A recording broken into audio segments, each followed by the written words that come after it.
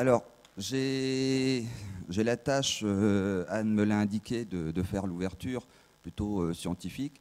je ne vais pas faire euh, une recension grande de, des choses relatives au numérique et surtout aux, EIM, comme l'a indiqué M. Leclerc. je vais juste essayer de, reprendre ce que l'on a indiqué dans, le petit préambule qui est celui du document que, vous avez.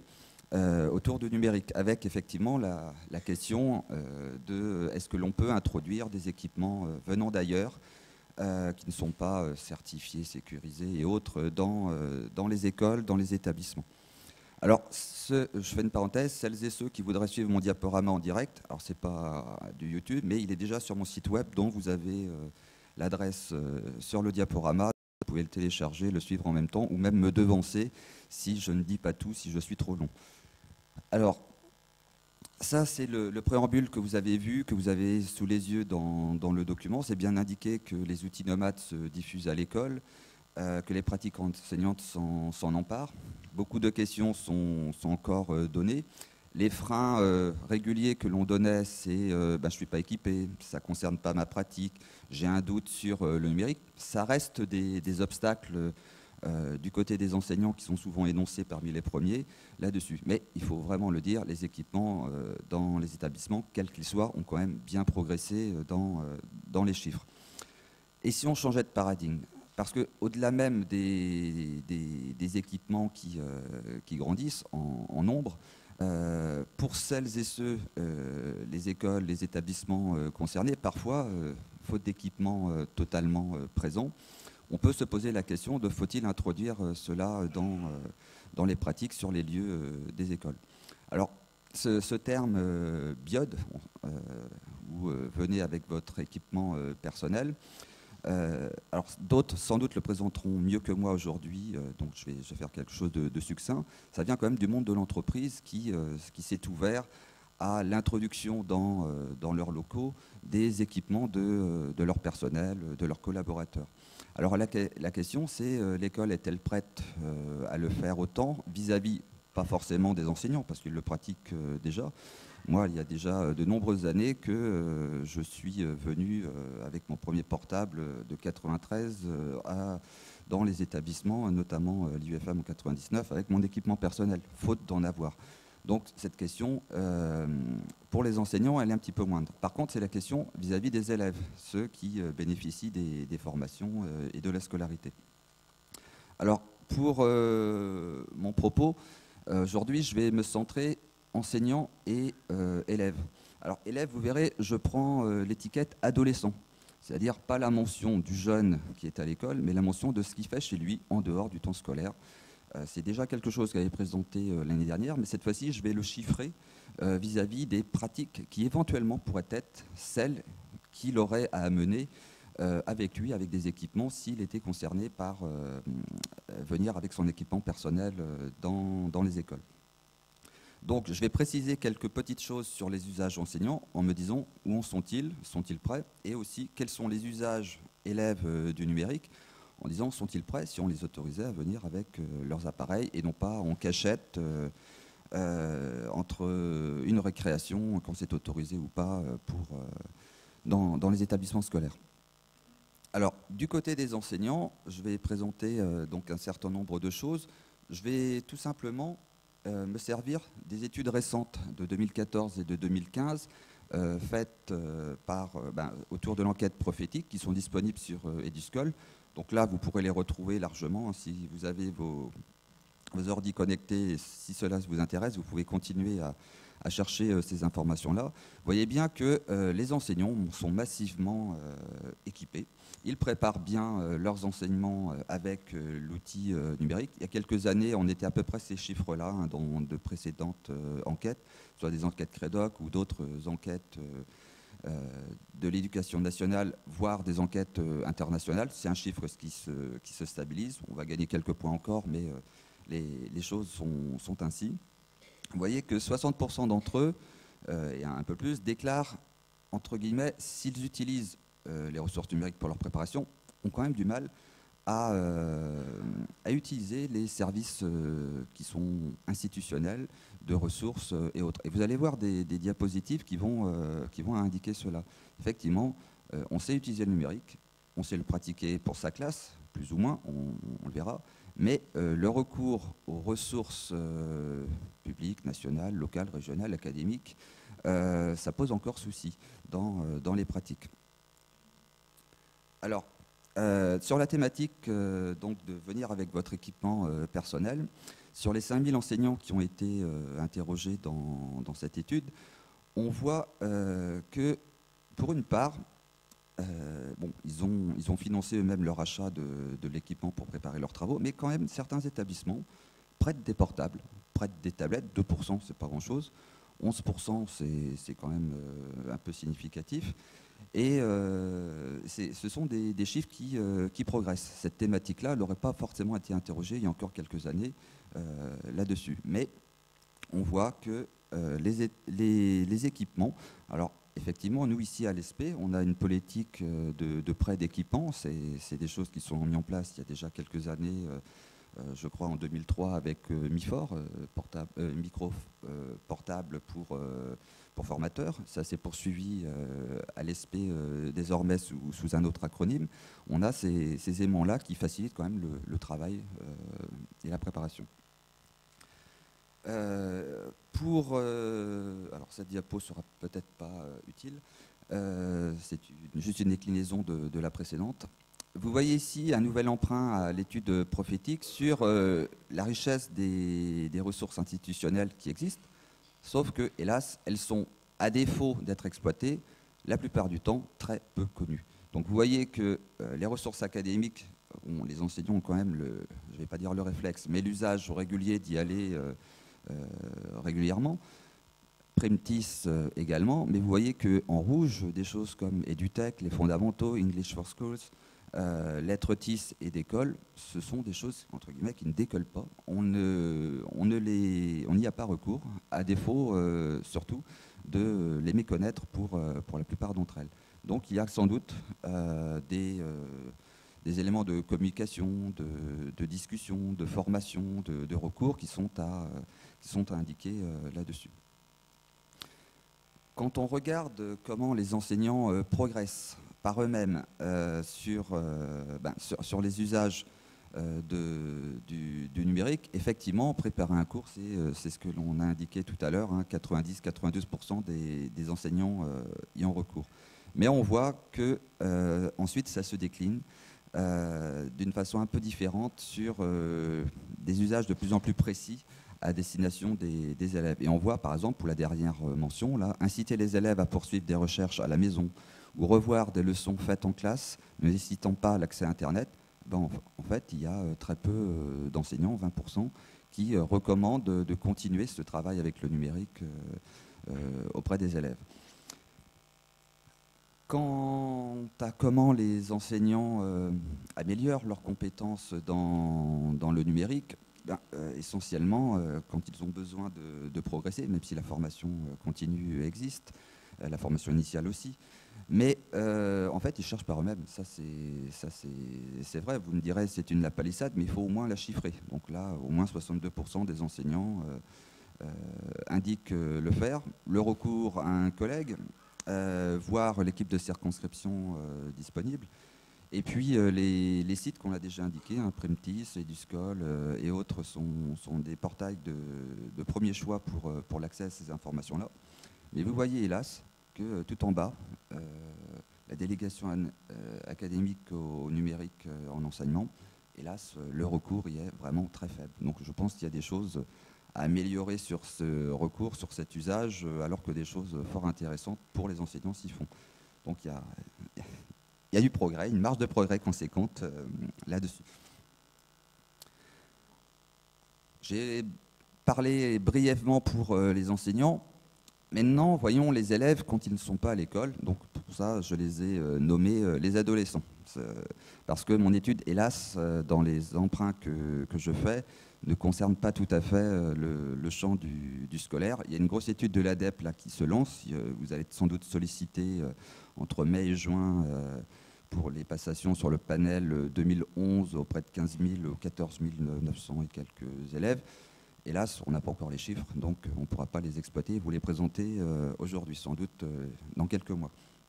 Alors, chez nos élèves, quand ils ne sont pas chez eux. Alors là, je reprends une diapo que j'avais présentée l'année dernière dans un, autre intitulé de, journée d'études.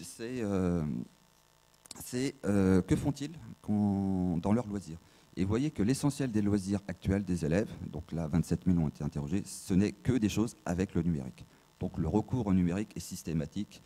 Euh, au-delà de regarder, euh, ben, d'écouter la musique, téléphoner, envoyer des SMS, consulter des choses sur Internet, il y a un certain nombre de choses qui se font et vous ne voyez pas apparaître réellement l'usage d'Internet pour les devoirs, pour les révisions, ainsi de suite. Alors, ça, c'était mon diaporama de l'année dernière. Et euh, dans les études euh, du CREDOC de 2015, septembre 2015, euh, des choses qui confortent ces choses-là. Alors, vous allez me dire, oh il est compliqué ce, graphique. ce qui est intéressant de voir, c'est que l'on a commencé à, considérer les tablettes, les, smartphones et ainsi de suite, bon, on va dire dans les années 2010-2011 pour, ces études. On va monter en puissance de, cet équipement. Ça, c'est la population, on va dire, 2012 à plus. De 12 ans, pardon, à plus. Alors pourquoi 12 ans? Parce que l'usage du numérique ne concerne pas que les adultes, effectivement. Et dans les statistiques que le CREDOC euh, utilise sur les conditions de vie euh, euh, chaque année, ils ont bien dû, depuis quelques années, ajouter la tranche d'âge des 12 ans, 12-17, qui va nous concerner justement pour expliquer s'ils sont prêts ou pas à venir avec leurs équipements et quels usages en font-ils. Les 12-17, ils sont largement équipés.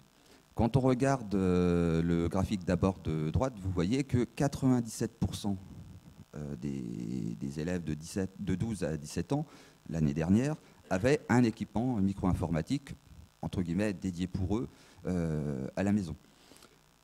c'est quelque chose de très fort. On voit une croissance installée depuis quelque temps là-dessus, mais on remarque même que chez les 12-17, euh, plus, plus des deux tiers ont déjà plusieurs ordinateurs ou plusieurs types de médias euh, disponibles. Ce sont des tablettes, des smartphones et un ordinateur euh, pour, eux. Donc, les usages sont sans doute récurrents. Alors, que font-ils? Là, je suis parti du côté des mobiles, smartphones en tête on voit que essentiellement c'est naviguer sur Internet, télécharger des petites applications euh, pour, euh, pour voir ce que ça donne, consulter euh, les courriels, c'est encore faible chez, les élèves, mais on voit que les choses autour de la géolocalisation, je crois qu'il y a des intervenants aujourd'hui qui parleront un petit peu des choses extérieures avec de, type d'outils nomades sur, sur cela, échanger vers, via la messagerie, c'est quelque chose de, récurrent et, d'installé. Donc, à la question est-ce que les équipements personnels des élèves sont suffisants en nombre? Oui. Est-ce que les élèves ont des pratiques, ben, les, adolescents ont des pratiques qui pourraient euh, rentrer à l'école Sans doute, oui. Que vont-ils en faire si on les autorise? C'est sans doute les questions qu'on aura à, discuter ensemble, à voir au-delà des questions de sécurité, de, règles législatives, de, règlements intérieurs, ainsi de suite. Donc les élèves sont prêts, les enseignants sans doute voyons comment cela va se passer si, euh, si cela se généralise. Merci.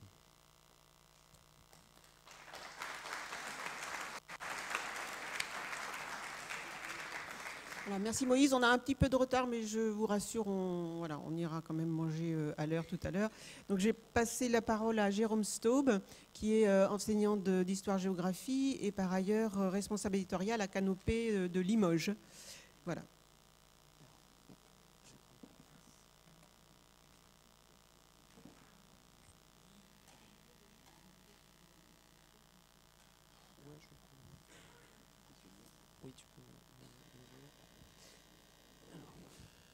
Tout d'abord, bonjour à tous et à toutes. Euh, je vous remercie pour, euh, je remercie l'ESP et puis euh, particulièrement Anne de m'avoir invité ici.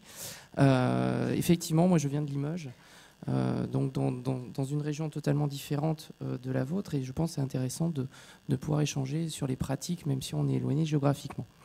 le propos de, de, mon intervention ce matin, ça va concerner les usages des terminaux mobiles des élèves, en particulier en sortie de terrain en géographie. Alors, pour vous situer un petit peu et puis vous donner un peu la couleur de ce, que, sur quoi je vais, intervenir, je vous ai remis un petit peu le, parcours, entre guillemets, euh, de ces expérimentations et un peu le mien. Comme ça, ça vous permet de, vous attendre à, la suite. Donc, ces expérimentations, elles ont commencé euh, depuis 2010 euh, par, une première sortie qui a été faite en dans Limoges.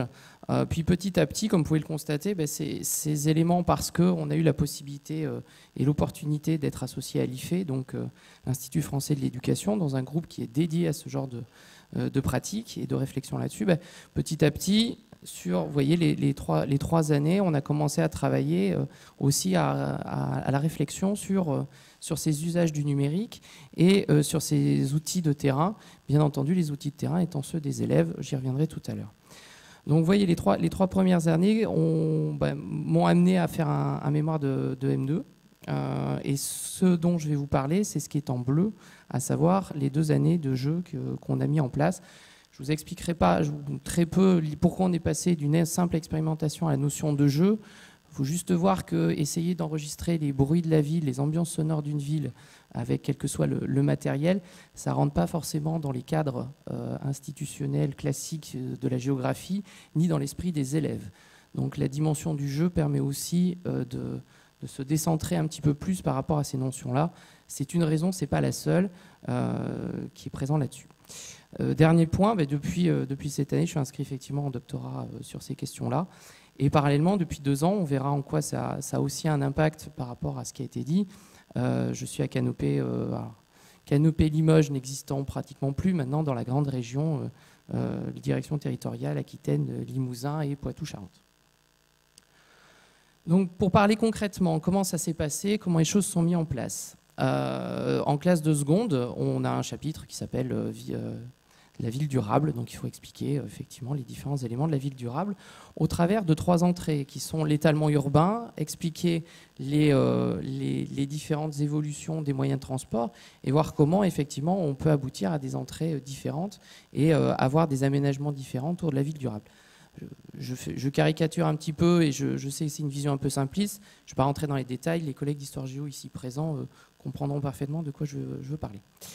Euh, donc ces trois entrées-là, on a essayé de les, travailler à partir d'un jeu qu'on a appelé Acousticum. Je vous décrirai très très rapidement en quoi il consiste. Et la particularité de ce jeu, c'est effectivement d'essayer d'entrer dans, ces trois, dans ces trois dimensions euh, de la ville au travers de la capture des ambiances sonores et euh, aussi des niveaux sonores qu'elle peut, qu'elle peut engendrer. Comment ça s'est passé pour vous montrer un petit peu le panel? C'est quatre classes de seconde, donc sur les deux années du jeu, hein, euh, qui répartit sur deux années, 2012-2014.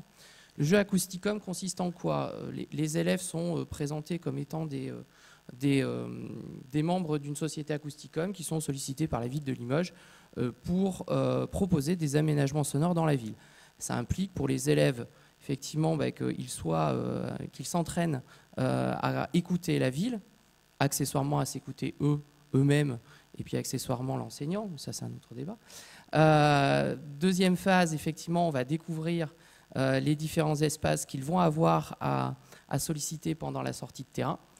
On fait cette fameuse sortie de terrain avec les outils, euh, les outils, les outils des élèves. On fait une création et une analyse cartographique au retour en classe et on fait des propositions à la mairie. Voilà un petit peu les entrées. Dans ce jeu, chaque joueur euh, chaque élève, vous voyez le lapsus, euh, a un rôle, il travaille par équipe, et il y a quatre, il y a quatre, il y a quatre rôles qui sont déterminés, j'en parlerai tout à l'heure. Donc nous, ce qui nous intéresse ici dans euh, cette dynamique, par rapport à la thématique du biode, ben, c'est précisément cette sortie de terrain et cette création et l'analyse cartographique à partir du rôle des joueurs. Je vais vous montrer que effectivement, ça s'est vraiment fait, ce n'est pas des photos fictives, c'est des vrais élèves.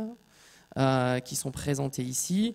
Donc là, pour vous situer, on est euh, tout en haut de la cathédrale, euh, donc dans un jardin, et ils se rendent compte en fait que dans ce jardin, pour l'anecdote, effectivement, on entend autant le, le, boulevard périphérique qui est juste en dessous, périphérique pour la ville de Limoges, il hein, faut quand même rester, rester modeste, et que en fait, tous les bruits de la, de la, fontaine qui est derrière, ben, ils les entendent très peu, donc c'est pour ça qu'ils sont tournés vers, vers ces éléments-là. Alors, si on rentre dans la, dans la dimension outil, qu'est-ce qu'on est censé attendre dans ce type de sortie de terrain? On est censé attendre un sonomètre de bonne qualité, un enregistreur numérique de bonne qualité et un GPS. Parce qu'effectivement, l'intérêt, c'est que dans les groupes, on puisse tracer les déplacements des élèves. D'un point de vue purement pragmatique, quand j'étais enseignant, tout ça, je l'ai demandé, je l'ai chiffré à mon chef d'établissement, qui m'a regardé d'un air un peu, un peu, un, un petit peu souriant, mais en même temps euh, un peu déçu en me disant on n'a pas les moyens de faire ça. Donc l'idée première et purement pragmatique d'utiliser les outils des élèves, c'est avant tout de se dire euh, bah, j'ai pas les moyens euh, de les avoir, donc effectivement qu'est-ce que je vais faire? Bah, Je vais utiliser ce que j'ai à la portée et à ma portée, à savoir les, outils, des élèves. Donc le gros avantage, c'est qu'effectivement, bah, on a des smartphones qui, font à peu près tout ce qu'on veut ou presque. Euh, avec certaines limites, et je reviendrai sur ces limites par la suite. Les outils réels de la sortie de terrain, voilà un peu ce qu'on a embarqué. On avait récupéré quand même un sonomètre, on avait récupéré deux enregistreurs numériques, un GPS, tous les smartphones.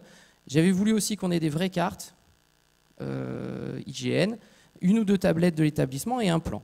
Alors pourquoi on a fait ça? Bah, Vous verrez par la suite, parce qu'on a interrogé les élèves dans un questionnaire pour effectivement euh, quels sont les outils que vous avez le plus utilisés dans votre sortie, quels sont les outils euh, que vous recommanderiez pour utiliser pour enregistrer le son, pour euh, faire les niveaux sonores, etc. etc.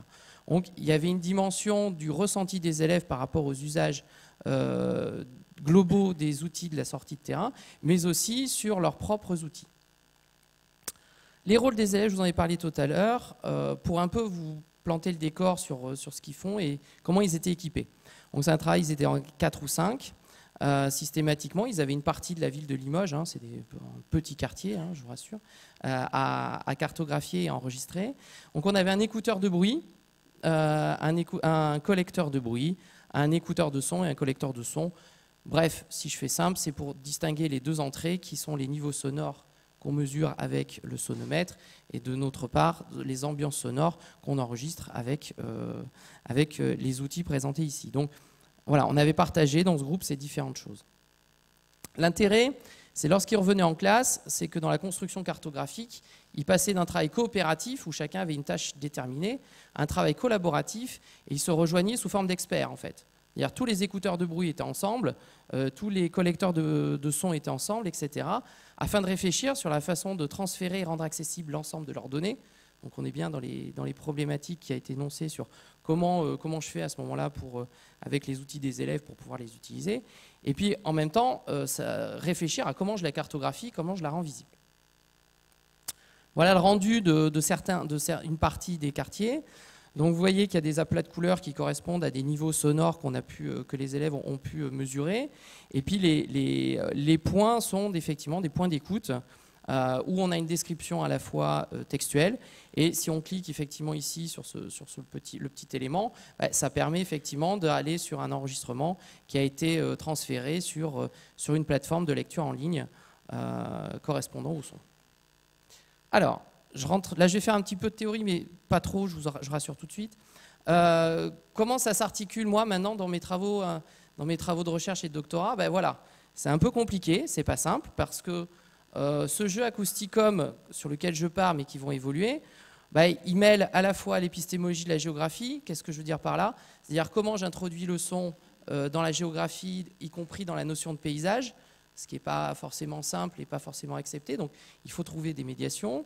Euh, comment je fais concrètement pour l'introduire dans les enseignements de la géographie euh, En tout et pour tout, si je fais le, panel entre les documents d'accompagnement et les, documents officiels, il y a une référence au son dans, la géographie.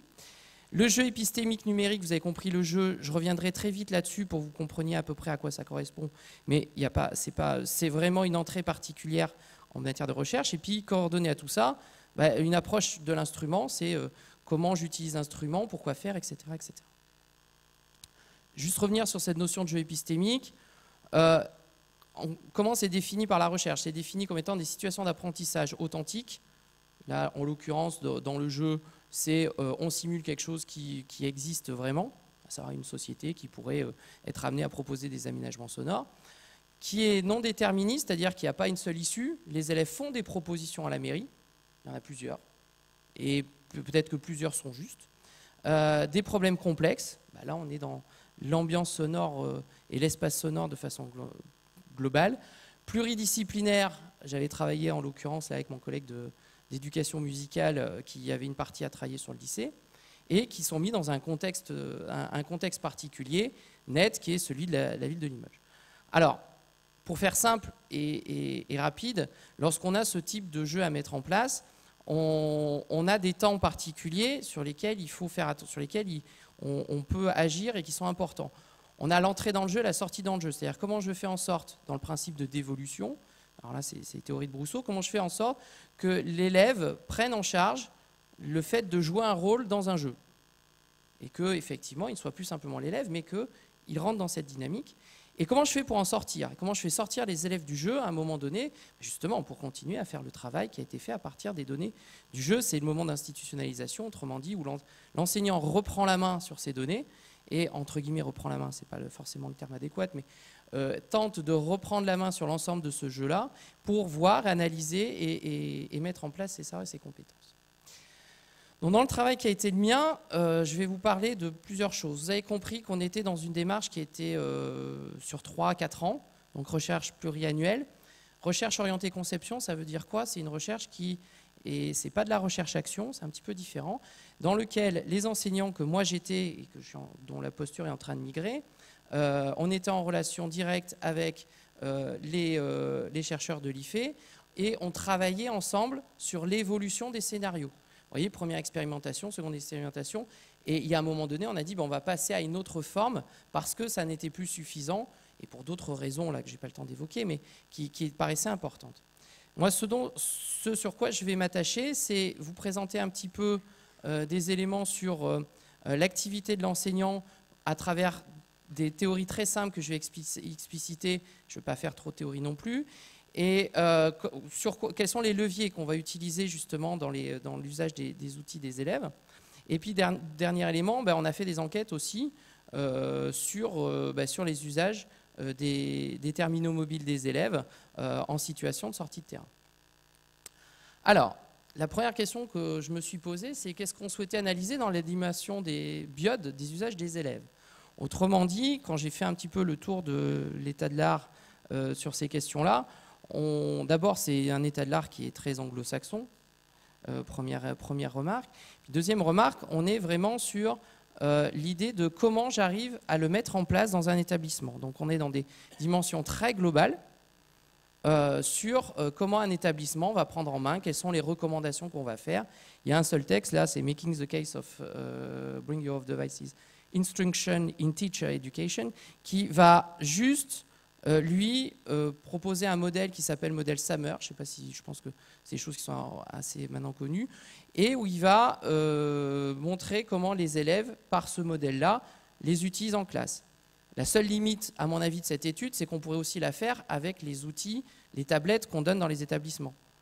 On savait pas, voilà, la dimension particulière du, du BIOD, le fait que les élèves amènent leurs terminaux mobiles en classe, elle n'était pas forcément énormément considéré. Euh, une des seules références que j'ai trouvées en, langue francophone, euh, c'est effectivement l'étude qui a été faite euh, et qui est canadienne pour le coup, par deux chercheurs, donc Fievez et Dumouchel. Fievez avait collaboré avec Karzenti, pour faire le, fameux gros recueil sur les usages de l'iPad au Canada, où ils avaient interrogé 6000 personnes. Voilà, il avait participé.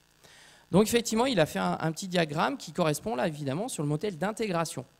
Et il y avait quatre entrées, donc utilisation restreinte, ciblée, euh, ouverture unique, utilisation unique et ouverture, euh, utilisation ouverte multiple. Euh, moi, quand j'ai essayé de voir par rapport à ce modèle-là où je me situais moi dans, mon, dans mon travail d'enseignant, je me suis rendu compte que j'avais des utilisations ciblées, c'est-à-dire que j'avais dit aux élèves, vous installerez telle ou telle application parce que vous avez besoin d'enregistrer du son, parce que vous avez un sonomètre à prendre en place.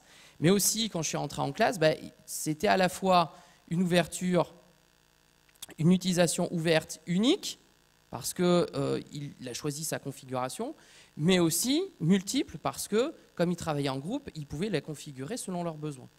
Donc du coup, je me suis retrouvé, c'est pour ça, vous voyez, je suis à cheval sur les deux, je me suis retrouvé dans pratiquement trois... Euh, trois, trois, entrées euh, de, de ce, cet aimant-là, et c'était peut-être pas forcément le, le, plus, euh, le, plus, satisfaisant.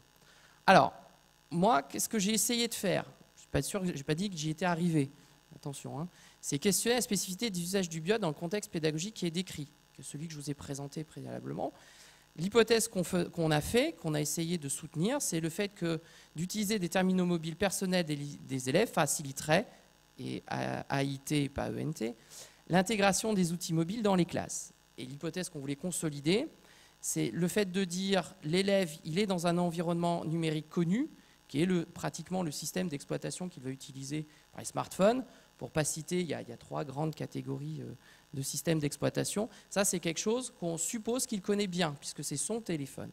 Et que nous, on vient juste derrière en lui conseillant, même plus que conseiller, on lui, on lui demande pour le travail de télécharger et d'utiliser des applications qui, comme on le sait tous, restent relativement simples par rapport à des outils, euh, à des outils plus compliqués et qui sont conseillés par l'enseignant. Donc c'était un peu notre entrée. On suppose qu'au préalable, la plus-value euh, qu'on va avoir sur ça, c'est que l'environnement numérique de l'élève dans son téléphone, il le maîtrise, il le connaît, et que l'enseignant, lui, bah, c'est une autre démarche qui est aussi euh, longue, on ne dirait pas plus là-dessus, mais qui est assez longue sur quelle est l'application que je veux faire utiliser à mes élèves, à quel moment je leur fais installer cette application et comment je la mets en place. C'est à peu près ce que j'ai essayé de schématiser ici. On a l'environnement numérique de l'élève, et puis vous voyez, on a un enregistrement sonore, on a, euh, différents, éléments qui sont mis en, disposition.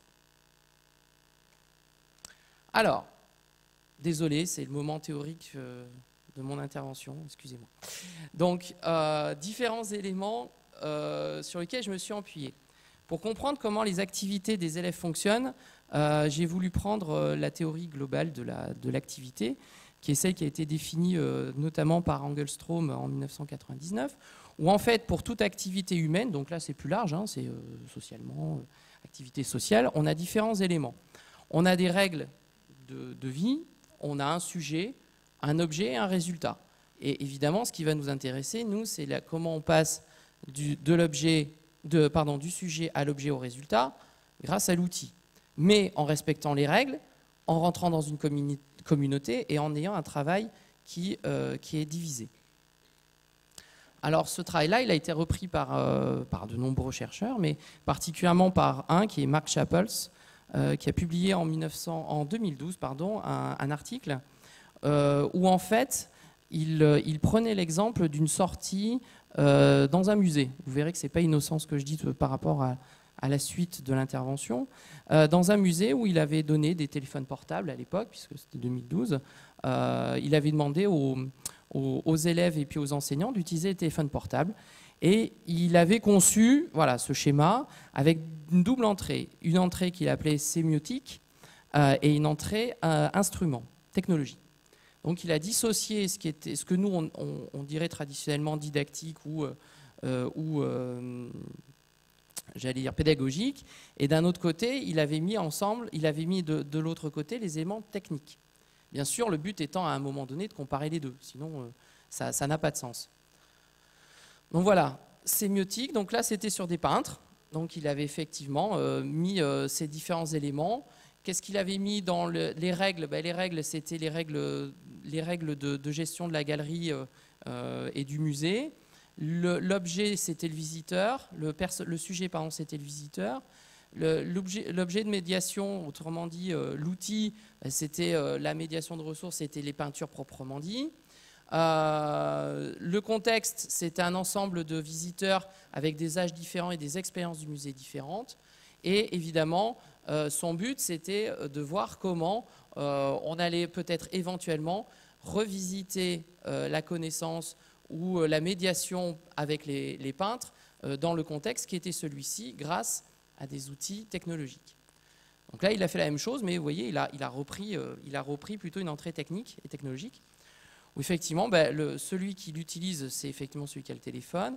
On voit qu'il a accès à des informations et communications, et ce qui présuppose, c'est que grâce à ce schéma et, au, questionnaire, on pouvait éventuellement revoir la façon d'appréhender euh, la peinture euh, dans un musée par l'intermédiaire des technologies. Alors, quand moi j'ai voulu faire j'ai voulu, euh, travailler sur ces différentes choses, ça m'a permis déjà de positionner différents éléments sur le premier diagramme. Les élèves sont toujours les, sujets de, l'observation. Euh, le contrôle, bah, effectivement, c'est celui des règles d'usage euh, dans un établissement scolaire. Pas de tablette utilisée, smartphone interdit dans le contexte scolaire. Contexte avec un E d'ailleurs, pas la version anglaise. Euh, les, groupes d'élèves, c'était des élèves de seconde 15-16 ans. Et comment on, pouvait bah, C'était les échanges. Je n'ai pas dit par quel vecteur technologique, puisque c'était par ailleurs présenté.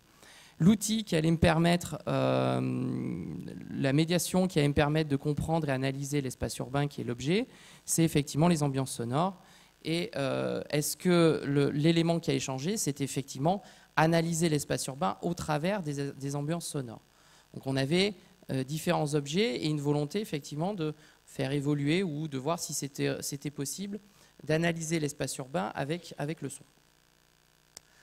Si je rentre dans l'aspect technologique, et c'est ce qui va nous intéresser plutôt ici, les élèves sont toujours les sujets. On avait autorisé euh, effectivement l'usage des smartphones euh, en sortie de terrain et l'accès au Wi-Fi en classe. Donc, sortie de terrain, évidemment, ça veut dire que, autre contrainte, euh, la sortie de terrain, c'était des connexions 3G, 4G pour ceux qui l'avaient, mais il n'y avait pas une nécessité absolue. Donc, l'idée, c'était d'enregistrer toutes les données sur leur, euh, leur, propre, terminal. Là où je retiens l'attention, c'est effectivement quel, est le médiateur, l'artefact qu'on a utilisé? Bah, c'était smartphone et tablette des élèves. Le but, c'était collecter des données, pardon, des données sonores. Et on s'est vite aperçu que dans l'objectif final, euh, il y avait comme un, une sorte d'appel pour rendre compte de ces données sonores de façon visuelle et que l'élément sur lequel nous, on s'était, on s'était focalisé, c'était la création de cartographie sonore. Vous vous souvenez, c'est euh, le passage entre euh, euh, je collecte sur le terrain et puis après, je les stocke et je les rends visibles. Ça, c'est quelque chose, avec le temps, on s'est aperçu que effectivement, c'était quelque chose qui revenait souvent dans les usages des tablettes en classe. François Villemontex, qui était à ma place l'année dernière, dans son rapport, il met en recommandation claire euh, il y a nécessité d'avoir un espace de stockage pour collecter toutes les données qui viennent euh, des tablettes et après les rendre visibles auprès de l'enseignant et auprès des élèves. Donc en fait, c'est peut-être pas si particulier à, ce que j'ai évoqué là, mais plutôt euh, de façon globale un ensemble d'éléments où les téléphones mobiles, à un moment donné, quand on collecte de la donnée, il faut que l'enseignant puisse les voir, les rendre visibles, les stocker, les analyser et puis après les représenter aux élèves. Donc c'est un, passage et un, élément important. Je passe sur le reste euh, de ces éléments. Donc, en fait, je me suis aperçu qu'en travaillant sur ce simple modèle-là, euh, le fait de collecter des données, euh, c'est un élément important parce que ça va appeler la, la nécessité de rendre visibles ces données, soit par les élèves, soit par l'enseignant. Alors, en quoi ça intéresse et euh, ça va intéresser les enseignants par rapport à l'idée euh, d'utiliser les, terminaux des élèves. Ça veut dire concrètement qu'à un moment donné, les élèves, s'ils utilisent leurs propres outils, euh, vont pouvoir déclencher, parce qu'ils sont dans un environnement numérique qu'ils connaissent bien, déclencher plus, plus logiquement, plus naturellement, sans euh, sans avoir à gérer le levier technique, euh, l'usage des applications qu'on leur a données. Dans mon cas particulier, c'est assez intéressant, cette idée de déclenchement de la collecte de données, parce que ça implique pour les élèves qu'à un moment donné, ils ont écouté et ils sont dit, les quatre, hein, je fais les, groupes, les quatre, se sont dit, ben, là, il y a quelque chose qu'on doit enregistrer sur cette, sur cette rue, euh, sur cet espace, dans ce jardin, etc. Et ils se mettent d'accord collectivement pour le faire. Et là, ça devient intéressant parce qu'on peut, on peut effectivement interroger les élèves après sur pourquoi vous l'avez fait là Qu'est-ce que ça implique pour vous? Pourquoi vous l'avez fait ici, pas ailleurs? Qu'est-ce qu'il y a de particulier qui a fait que vous ayez eu envie d'en rendre compte dans un, dans un enregistrement et dans une trace numérique? Alors, ces éléments-là, ça fait référence à un concept particulier qui est celui de l'évocation. L'évocation, dans le principe de perception, c'est un retour intérieur et actif sur les impressions, les perceptions, pour les structurer et leur donner du sens. Le passage des perceptions à leur évocation est le premier pas indispensable à tout apprentissage. Autrement dit, si je en réfère à, ce que je, à, ma situation, Voilà, qu'est-ce qui va faire que l'élève va se retrouver dans une situation où effectivement il va avoir ces éléments d'évocation? Je l'ai un peu schématisé pour rendre ça, j'espère, un peu plus clair. Un objet extérieur, on le perçoit, on a des impressions résultant de cette perception, et il y, a une, relation qui se fait entre l'objet évoqué qu'on a nous en tête, qui renvoie aux impressions, et au langage intérieur, autrement dit à la façon dont on le nomme, à la façon dont on le met en place. Et il y a une interaction entre ces deux pôles, impression et euh, objet évoqué, et puis finalement on revient vers l'objet extérieur au, final. Dans mon, schéma, ce qui est intéressant, vous voyez, c'est ça, c'est cette modification, il y a un intermédiaire qui est le déclenchement des traces numériques. Autrement dit, dans le processus, ce qui est intéressant, c'est effectivement ce moment-là, c'est comprendre pourquoi ils l'ont fait à tel moment. Et ça, on, peut le faire. Je veux dire, la trace numérique, un enregistrement numérique, il peut être nommé par euh, la date, l'heure. Euh, la trace GPS vous dit à peu près à, quel endroit ils sont et à quel moment.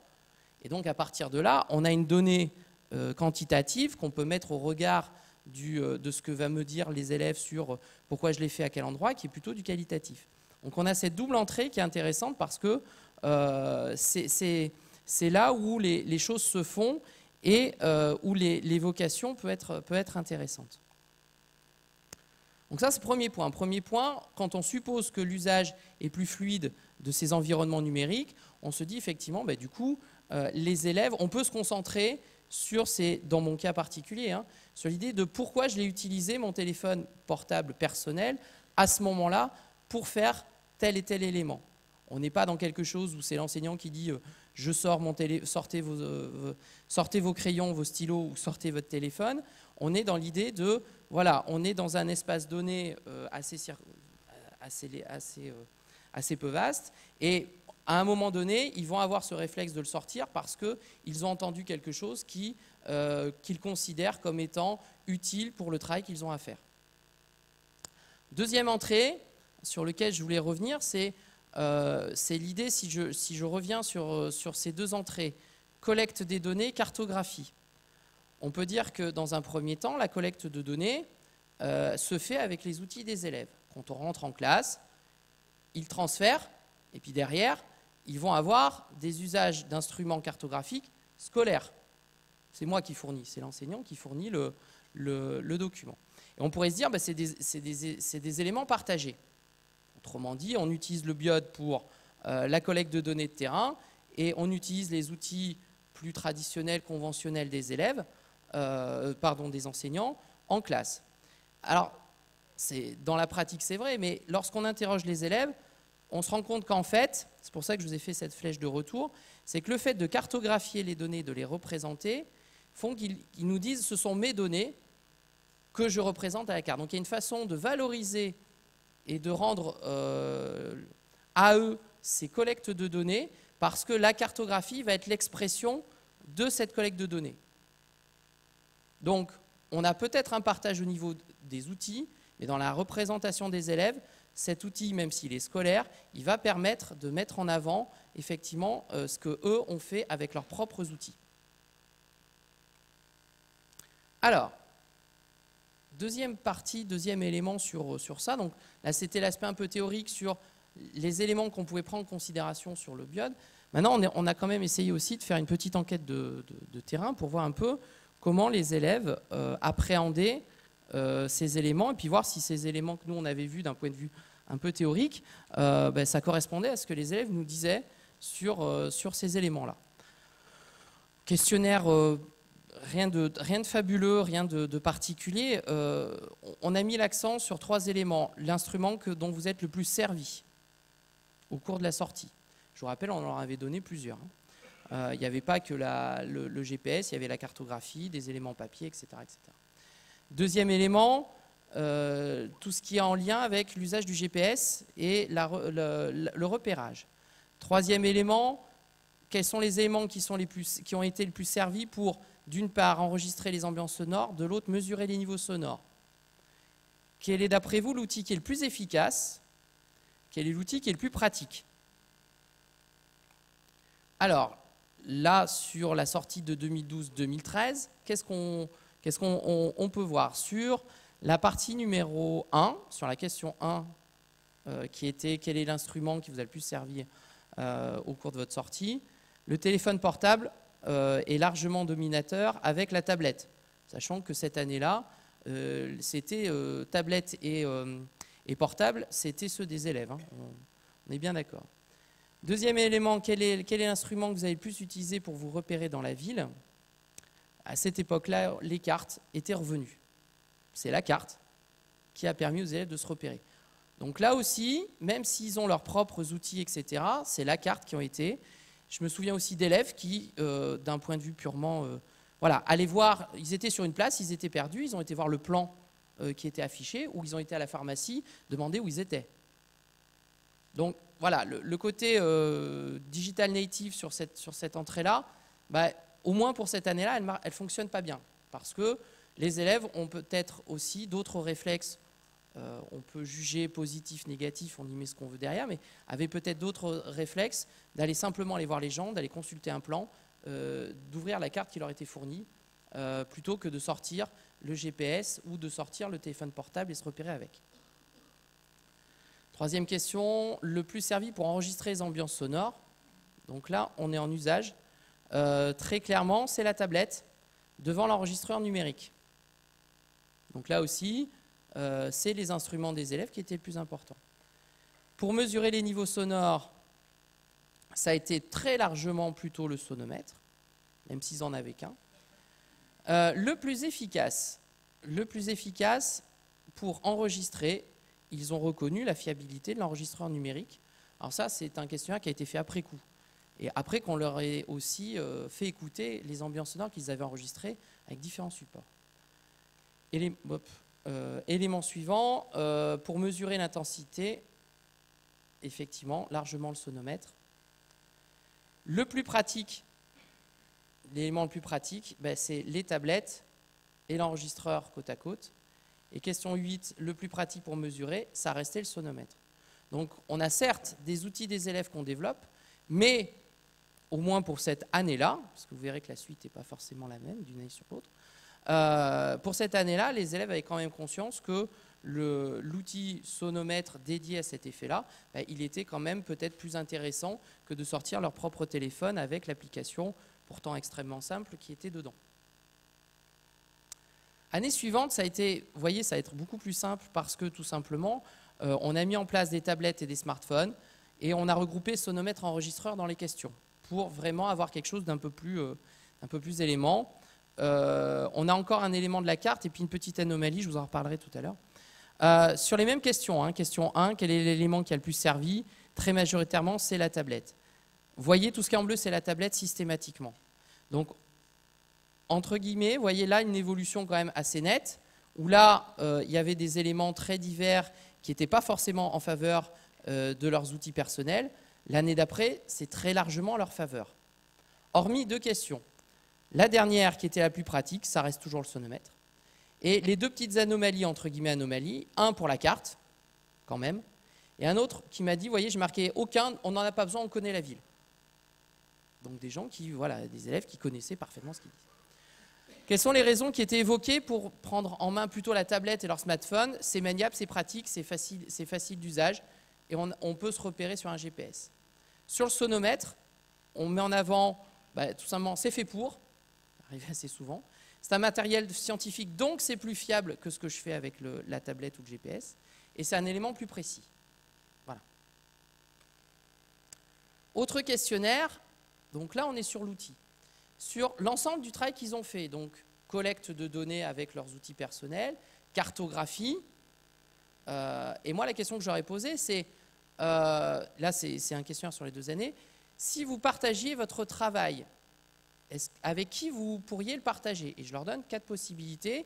Et dites-moi avec qui vous le partageriez et, avec ceux avec qui vous ne le partageriez pas. Vous voyez, globalement, si on met leurs quatre sur Internet, globalement, ils sont contre, très nettement. Si c'est quelque chose qu'on va donner à la ville de Limoges, puisqu'on était dans l'idée d'avoir...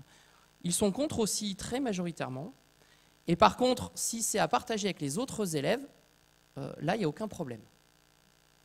Donc il y a quand même aussi un rapport à la fiabilité des données, sur ce, sur quoi ils sont collectés, qui est importante. Euh, autre remarque, ceux qui, les arguments qui étaient avancés pour, pour les minoritaires, ceux qui voulaient bien partager avec les internautes la ville de Limoges. Euh, voici un peu comment ils justifiaient euh, leur, leur, réponse. Un, c'est le caractère exemplaire. C'est pas parfait, mais comme il n'y en a pas d'autres qui l'ont fait, ben on, peut le, partager. Deuxième élément, l'amateurisme positif. C'est un travail amateur, et alors sur le net, il y a d'autres travaux amateurs qui pourraient valoir largement ce que nous on a fait. Et troisième élément, importance du partage des données. Ben, on a envie que les choses soient partagées euh, avec le plus grand nombre. Euh, parce que ça permet de la communication, ça permet de voir ce que les autres ont fait, etc. etc. Donc, conclusion sur ces deux parties. Donc, vous voyez, il y a un questionnaire, je vais y revenir, qui, qui est assez, euh, euh, qui n'est pas forcément tout le temps en faveur de l'usage des, outils des, élèves dans ce contexte-là. Et on va essayer de comprendre un petit peu pourquoi. Donc, par contre, sur les modèles théoriques, les deux entrées que je vous ai redonnées, les usages du biode offrent l'opportunité de concentrer l'attention des élèves de l'enseignant sur des moments déclencheurs d'enregistrement des traces sonores et donc travailler aussi sur les raisons qu'ils ont poussé collectivement à faire ce choix. Deuxième possibilité, la collecte des données sonores semble appeler une représentation de celles-ci. Loin de cantonner les usages des terminaux personnels des élèves à la tâche de collecte des données, l'usage des outils cartographiques sur terminal de l'établissement met en lumière plutôt la fabrication cartographique par les élèves pour les élèves. Alors évidemment, sur les questionnaires, c'est un peu différent, on a un peu un paradoxe. Parce que les élèves, globalement, reconnaissent une, forme d'efficacité pratique. C'est pratique d'utiliser le smartphone et la tablette. Mais par contre, ils ont totalement conscience que euh, le travail qu'ils ont fait euh, est, très relativement fiable et que en dehors du cours, on ne va pas forcément le partager. Hypothèse. Là, c'est une hypothèse que je, vous soumets, hein, d'où son nom, qu'il n'y a pas de... Euh, une idée qui n'a pas euh, forcément, qui n'est pas vérifiable et vérifié, mais qui pourrait être euh, assez intéressante, me semble-t-il. Euh, si on distingue un usage scolaire des terminaux personnels des élèves et un usage public, on a l'impression qu'on renverse un peu la donne, d'après ce, ce, que je viens de vous montrer. Dans la mesure où les données collectées et cartographiées sont reconnues et utilisées dans le cours par l'enseignant, ça ne dérange pas les élèves de l'utiliser. Même, ils sont prêts à le partager avec d'autres classes. Mais ça reste dans le giron scolaire. Par contre, dès l'instant qu'on attaque l'espace public, où effectivement ben, ils vont retrouver leurs usages personnels, euh, le degré de fiabilité fait que, selon eux, on ne va pas le transmettre. Donc, voilà, c'est un, peu c'est un, petit peu une, remarque un peu à l'envers de ce qu'on peut entendre dire. C'est pour ça que j'ai bien mis ça en hypothèse par rapport au contexte. Euh, il n'y a peut-être pas une fluidité si, importante à, vouloir tout partager tout le temps. Euh, il y a aussi l'effet que les élèves ont totalement conscience qu'on est dans un usage scolaire de leurs propres terminaux, que du coup, bah, euh, on a moins de, possibilités de le, partager, et puis que c'est peut-être pas intéressant de le partager avec le reste euh, du public ou avec le reste des, internautes. Alors, troisième et dernière partie, euh, je vous ai dit tout à l'heure que ça faisait deux ans que je travaillais à Canopée. Bon, c'est pas qu'anecdotique. Euh, l'important ici, c'est de que ce travail-là, il a aussi nourri du côté, là, je vais parler de production, les productions qu'on peut faire, notamment sur des expositions. Alors vous allez me dire, ce n'est pas un rapport évident avec tout ce que je viens de dire, mais il y en a quand même, vous allez voir. Objectif des expositions, telles qu'elles peuvent apparaître, on, est sollicité souvent, vous aussi, pour aller voir des expositions qui sont faites par des partenaires culturels, scientifiques, etc., sur tout un tas de choses. Euh, par contre, effectivement, l'entrée numérique, en tout cas nous, euh, en Limousin, et puis je le vois un petit peu ailleurs aussi, et pas si important que ça. Donc, notre idée, c'était de proposer un accompagnement numérique adapté à des expositions physiques, avec la contrainte de faire tout type de terminal, quel que soit le lieu et la forme de l'exposition. Mais sur quoi on s'est arrêté? On s'est arrêté sur, effectivement, un élément important que j'avais repris précédemment, sur lequel j'ai insisté, qui est l'élément déclencheur qui va entraîner l'usage du terminal mobile. À quel moment, nous, en tant que producteurs, on va inciter les utilisateurs à prendre leur téléphone pour euh, avoir cet accompagnement numérique, soit pendant l'exposition, soit en dehors de l'exposition? Donc ce n'est pas anodin, ça se réfléchit, ça se, construit. Du coup, ça implique aussi quel contenu on rend visible dans l'exposition physique et quel contenu on, propose sur terminal mobile, autrement dit, qu'est-ce qui est de l'ordre du numérique. On lève relativement facilement les contraintes techniques. N'importe quel terminal, on fait du numérique avec du HTML5, c'est lisible sur n'importe quel navigateur, quel que soit son, élément. Sur n'importe quel affichage, bah, on fait une entrée, ce qu'on appelle responsive, qui s'adapte à la taille de l'écran. Et n'importe où, bah, on fait du contenu qui est lisible en ligne et du contenu qui est lisible hors ligne avec euh, ces petites librairies box euh, qui, euh, ce petit serveur Wi-Fi là, interne qui permet d'avoir des connexions, un, contenu sur la clé USB qui soit lisible sous forme d'un réseau privé Wi-Fi. Donc là-dessus, on était tranquille. On a eu trois entrées, trois expérimentations. J'appelle ça trois défis parce que c'était pas simple.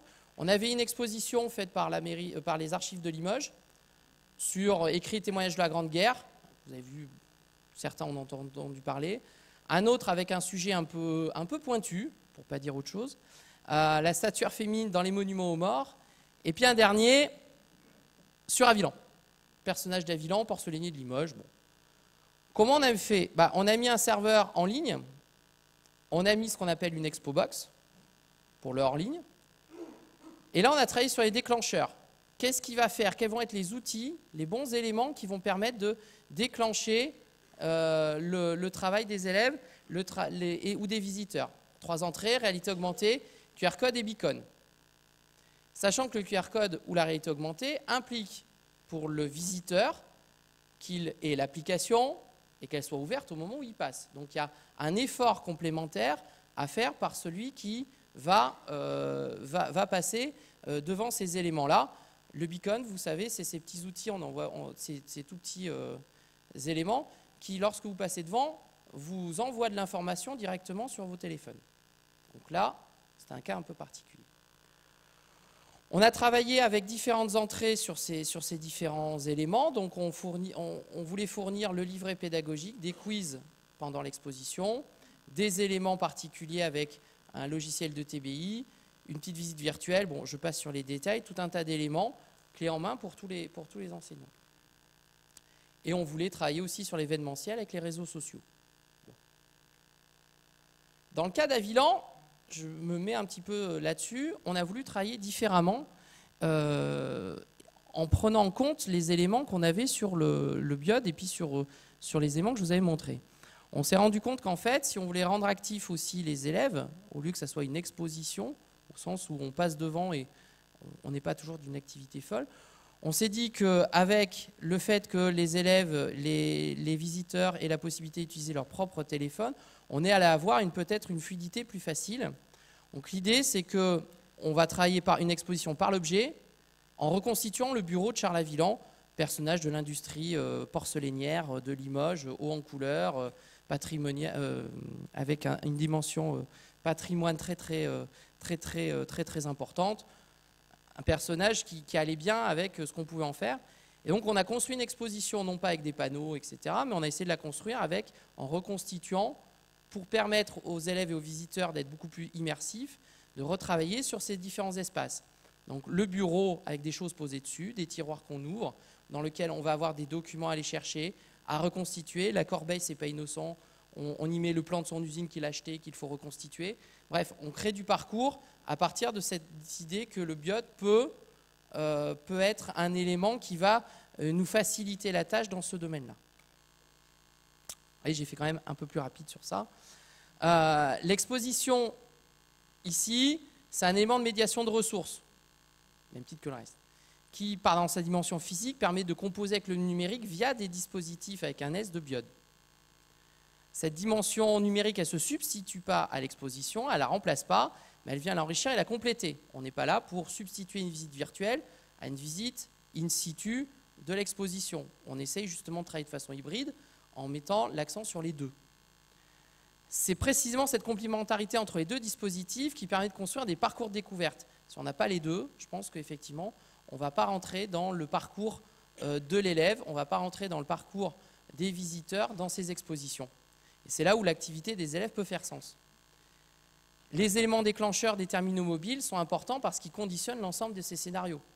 Si on ne réfléchit pas à la façon, nous, producteurs, à quel moment on va avoir envie d'envoyer des informations aux élèves pour telle et telle activité, si on ne pense pas à ces moments-là, ben, euh, effectivement, on, aura, tout faux.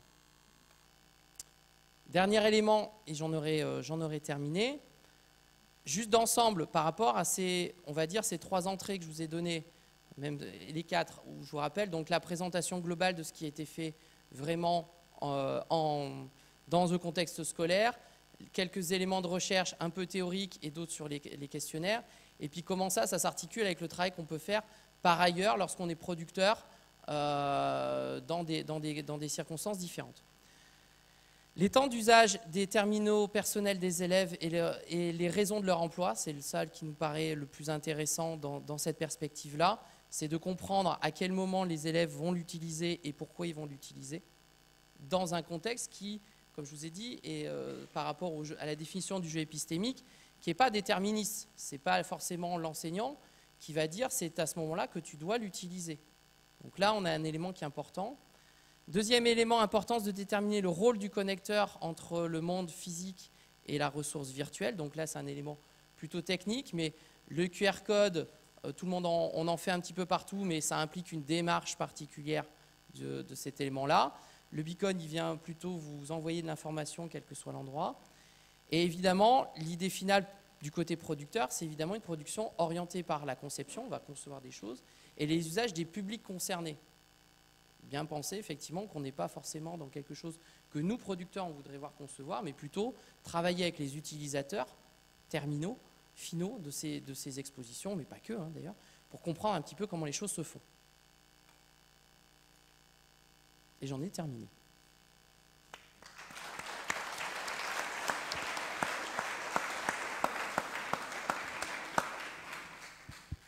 Bon, merci Jérôme. On, a le temps pour, euh, pour des questions.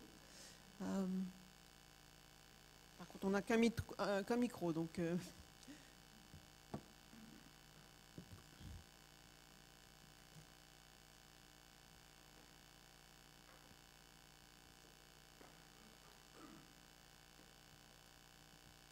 Bonjour et merci pour la conférence. Euh, dans votre conférence, vous parlez de, mettre en ligne des, productions. Qu'en est-il des licences?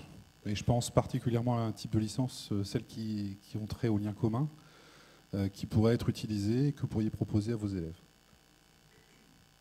Alors, nous, on avait travaillé avec, donc, surtout pour le son, hein, j'entends, pour ce qu'on connaît sur SoundCloud, on avait mis effectivement des licences de Creative Commons à disposition. Euh, la plus restrictive qui existait euh, de mémoire, celle où euh, pas d'utilisation commerciale, pas d'obligation de, citer le, de citer le producteur. Et, et, voilà, enfin, on avait mis ça en place. Et ce qui était assez intéressant, c'est que du coup, on y avait réfléchi de façon collective. On n'y avait pas, moi, j'avais pas imposé quelque chose. Euh, du coup, j'ai dit voilà, euh, justement, dans l'idée de, par rapport au questionnaire, vous voulez pas que ça soit partagé avec le public, mais quand même, qu'est-ce qu'on fait euh, comme type de licence ou est-ce qu'on le verrouille, on le rend privé, public Qu'est-ce qu'on qu'est-ce qu'on fait dans la, gestion? Alors là, à l'époque, c'était SoundCloud. comment on gère cette dimension-là? Donc il y avait eu, il y avait eu ces échanges-là à ce moment-là.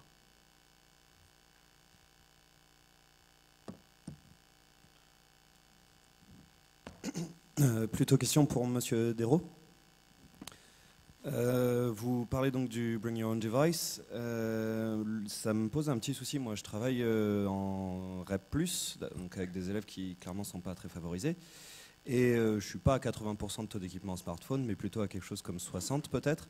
Et en plus, une bonne partie d'entre eux n'ont pas d'accès à Internet parce qu'ils récupèrent le smartphone de leurs parents et ils n'ont pas forcément le, le, forfait qui va avec. Et du coup, moi, ça me pose une, question qui est, euh, bah, est-ce que ça renforce pas les inégalités finalement euh, entre les élèves et entre les établissements?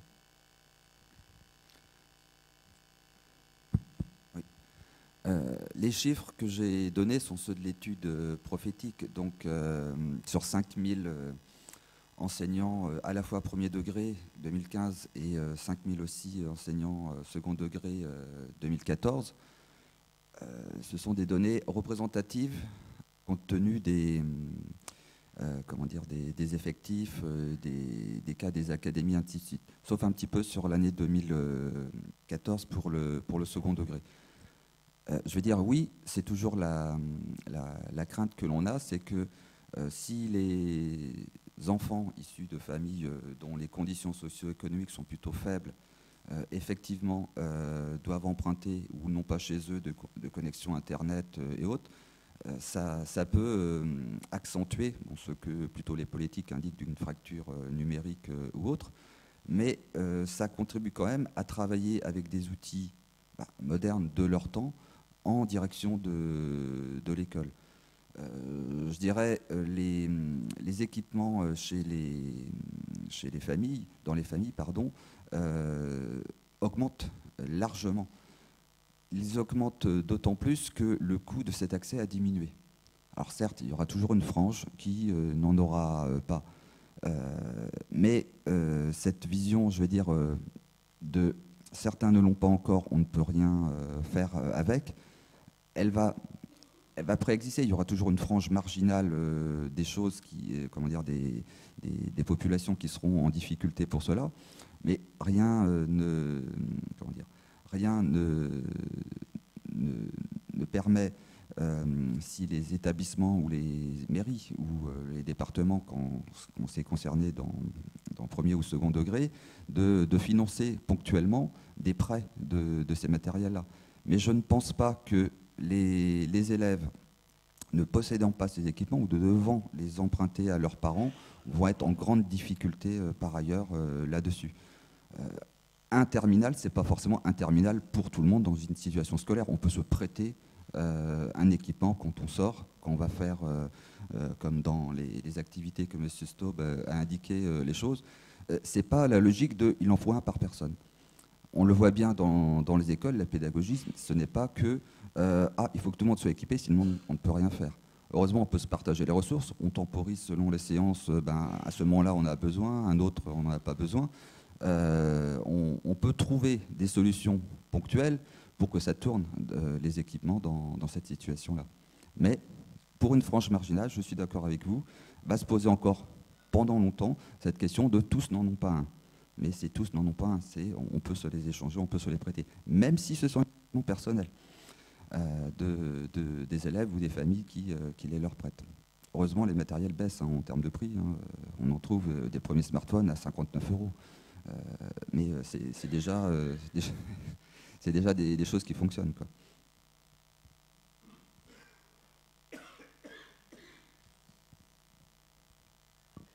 C'est une question pour Monsieur Staub. je voulais revenir sur les outils Biode, notamment est-ce, qu'il vous est-ce que vous avez aménagé ou modifié le règlement intérieur de votre établissement, justement en fonction des activités que vous organisez, puisque moi je m'aperçois que j'enseigne depuis 22 ans la technologie en collège, donc les outils numériques euh, dans ma classe et hors la classe, euh, je les utilise. Le souci, c'est que depuis pas mal de temps maintenant, euh, bon, les élèves, quand ils sont en sortie avec moi ou en visite, que ce soit pour des expositions, comme vous l'avez dit tout à l'heure, ou euh, même des visites des visites d'entreprise ont souvent leur euh, propre matériel et souhaitent ou veulent l'utiliser. Alors euh, évidemment, ça commence à être plus ou moins toléré dans certains établissements pendant les temps de pause ou les temps de récré. C'est pas le cas dans, tous les établissements ici de l'académie. donc ma question était la suivante c'est est-ce que votre règlement d'établissement a été aménagé, modifié en conséquence? Alors, euh, pour répondre directement, la réponse est bien sûr non, parce que mais pour, pas forcément pour les raisons qu'on peut, qu'on, peut sentir ou en disant non, le chef d'établissement n'a pas voulu. Euh, quand j'ai présenté tout ça, euh, j'ai eu une dérogation pour le faire. Mais il faut bien imaginer que je ne pense pas qu'il était, comment dire, contre l'idée de l'ouvrir de façon plus globale c'est que euh, à l'époque, maintenant euh, les choses évoluent, euh, parce que je suis toujours en contact avec mes, anciens collègues, on, était un ou deux à l'utiliser à l'échelle d'une cité scolaire. Je précise que je travaillais dans une cité scolaire en milieu rural. Donc voilà, pour bien planter le décor. Donc ils n'ont pas forcément jugé nécessaire, dans ce cadre-là, de, de, de, lancer une, une, démarche administrative forte, avec très certainement aussi des, des réticences euh, euh, d'autres membres de la communauté éducative, euh, pour en gros, je, caricature un peu, mais là, quatre classes sur deux ans, mon collègue, ça devait être deux ou trois classes au collège. Donc voilà. Ils ont, mais je pense que c'est plus s'il y avait eu dix, collègues qui ont dit on a besoin de ça, on veut le faire ensemble. S'il y avait eu cet élément-là, comme il peut y avoir peut-être maintenant aujourd'hui, la réflexion se serait posée. Euh, voilà, c'est un peu comme ça que ça a fonctionné. pour moi, ça a été, euh, c'était très bien.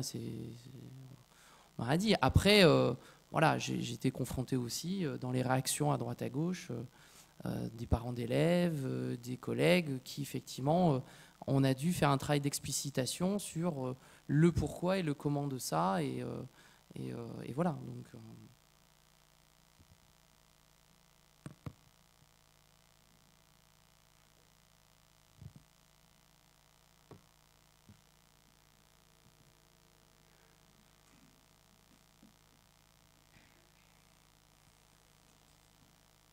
Une question pour M. Staub.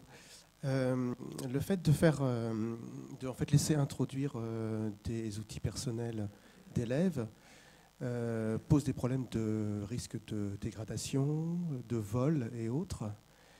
qu'est-ce qu'on peut proposer par rapport à ça, sachant que bien souvent les élèves sont équipés même avec des outils beaucoup plus frayeux que nous.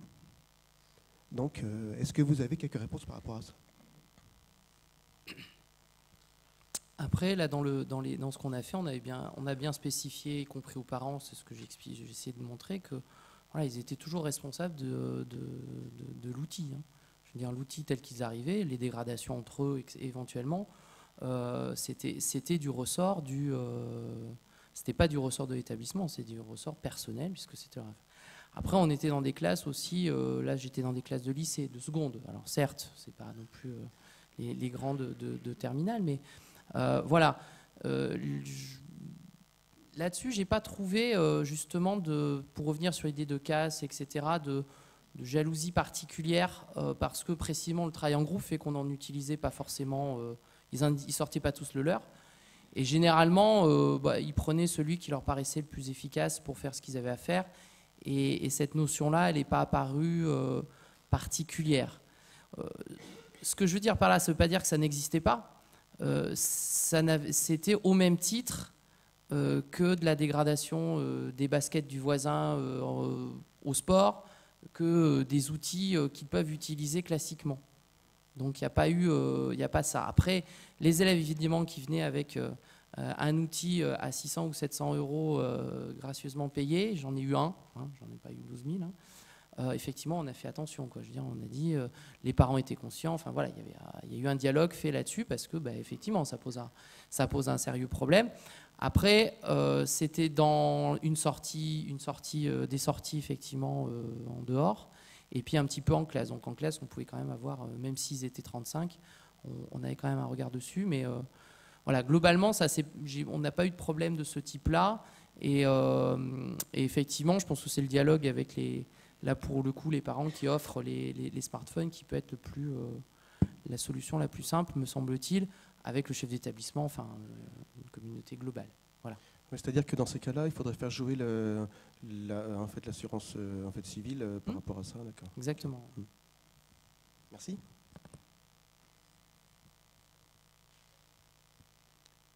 Encore quelques questions non?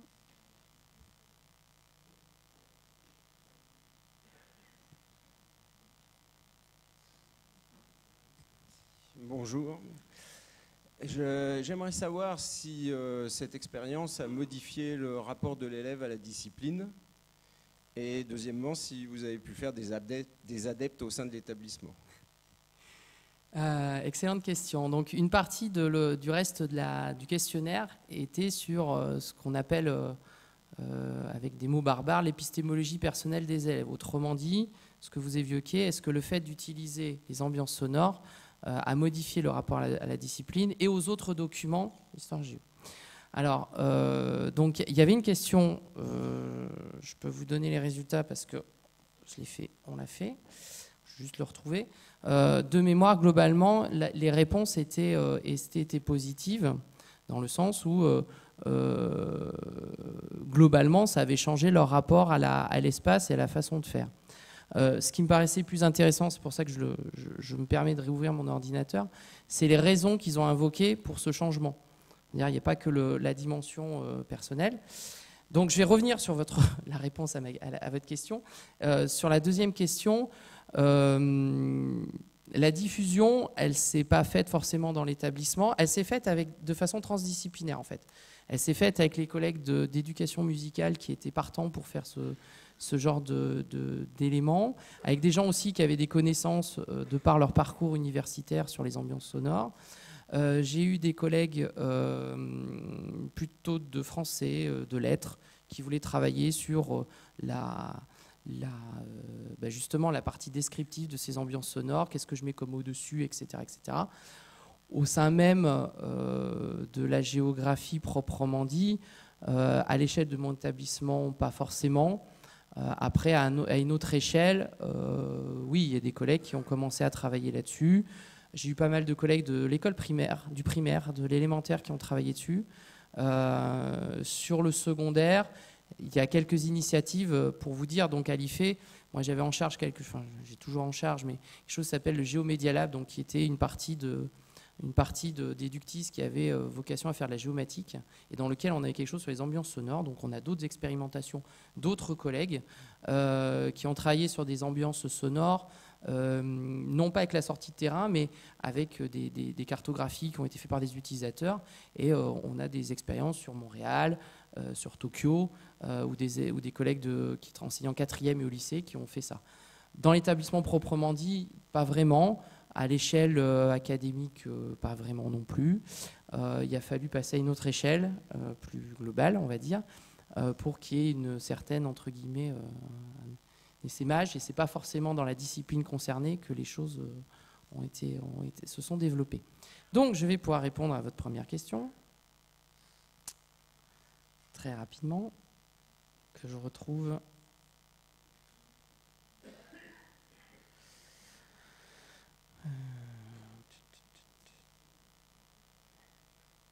C'est celui-là. Alors.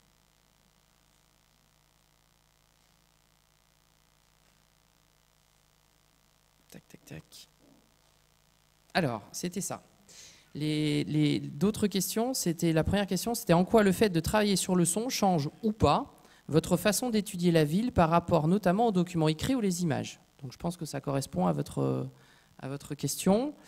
Euh, donc on avait donc euh, globalement c'était oui et dans ces réponses, je vous donne un peu les pourcentages comme ça. Euh, c'était 49% pour voir autrement la ville. Euh, 17% qui ne voyaient aucun changement. Voilà, ça c'était le côté. Euh, 17% qui, permettaient d'étudier la ville autrement, donc qui distinguaient euh, leur perception de ce qu'ils étudiaient en classe. 6% d'enrichir l'étude de la ville, c'est-à-dire qu'on continue à utiliser les images, les textes, etc., mais que ça venait comme un enrichissement complémentaire.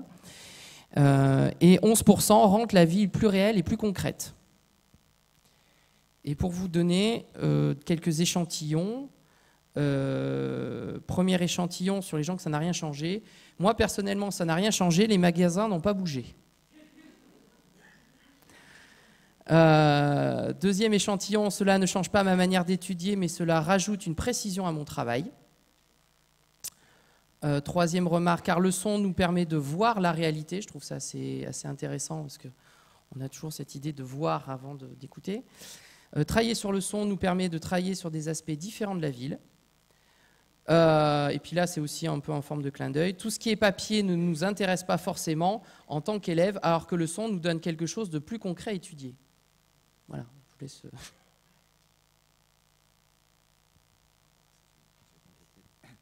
Même si j'ai pas fait euh, l'étude qu'il a indiquée, j'allais vous répondre en fait à votre deuxième partie de question. Est-ce que des enseignants peuvent se modifier, ainsi de suite? Il y a quelqu'un, alors je n'ai pas retrouvé l'orthographe exact de son nom, donc j'espère qu'il ne m'en voudra pas s'il nous écoute sur YouTube. Il me semble que c'est Philippe Melin qui a dressé une courbe de comment on parvient à faire changer des personnes, à adopter de nouvelles conduites d'innovation. Et dans sa courbe, il polarise à gauche les réfractaires, ceux qu'on n'arrivera jamais de toute façon à, mobiliser. Alors ça dépend des domaines, on va dire entre 5, 10, 15 et de l'autre côté, ceux qui sont plutôt technophiles, qui de toute façon, même si on les prive de matériel, le feront toujours, y compris en apportant leur propre matériel. Entre les deux, comment les enseignants changent-ils? En fait, il y a dans cette courbe une majorité des personnes qui attendent de voir. on les appelle les pragmatiques du changement. Et quand ils voient certains collègues qui fonctionnent bien avec cette nouvelle modalité-là, que finalement c'est pas plus dur, ils perdent pas trop de temps à s'en emparer et que ça sert, euh, euh, comment dire, euh, leur pédagogie et, les apprentissages des élèves. En ce cas-là, c'est pragmatique du changement. Commence à regarder non plus les geeks, mais ses collègues qui ont su simplement expliquer comment ils ont fait, ça a marché, ils sont contents, leurs élèves fonctionnent bien, il y a une gestion de classe qui est améliorée. Et eh bien, et eh bien, ils commencent à se détourner de des réfractaires euh, qui respectent tout le temps, des geeks qui sont sur leur planète, et ils commencent à se mettre à adopter ben, les bons usages en demandant conseil à leurs collègues qui ont euh, bien fonctionné.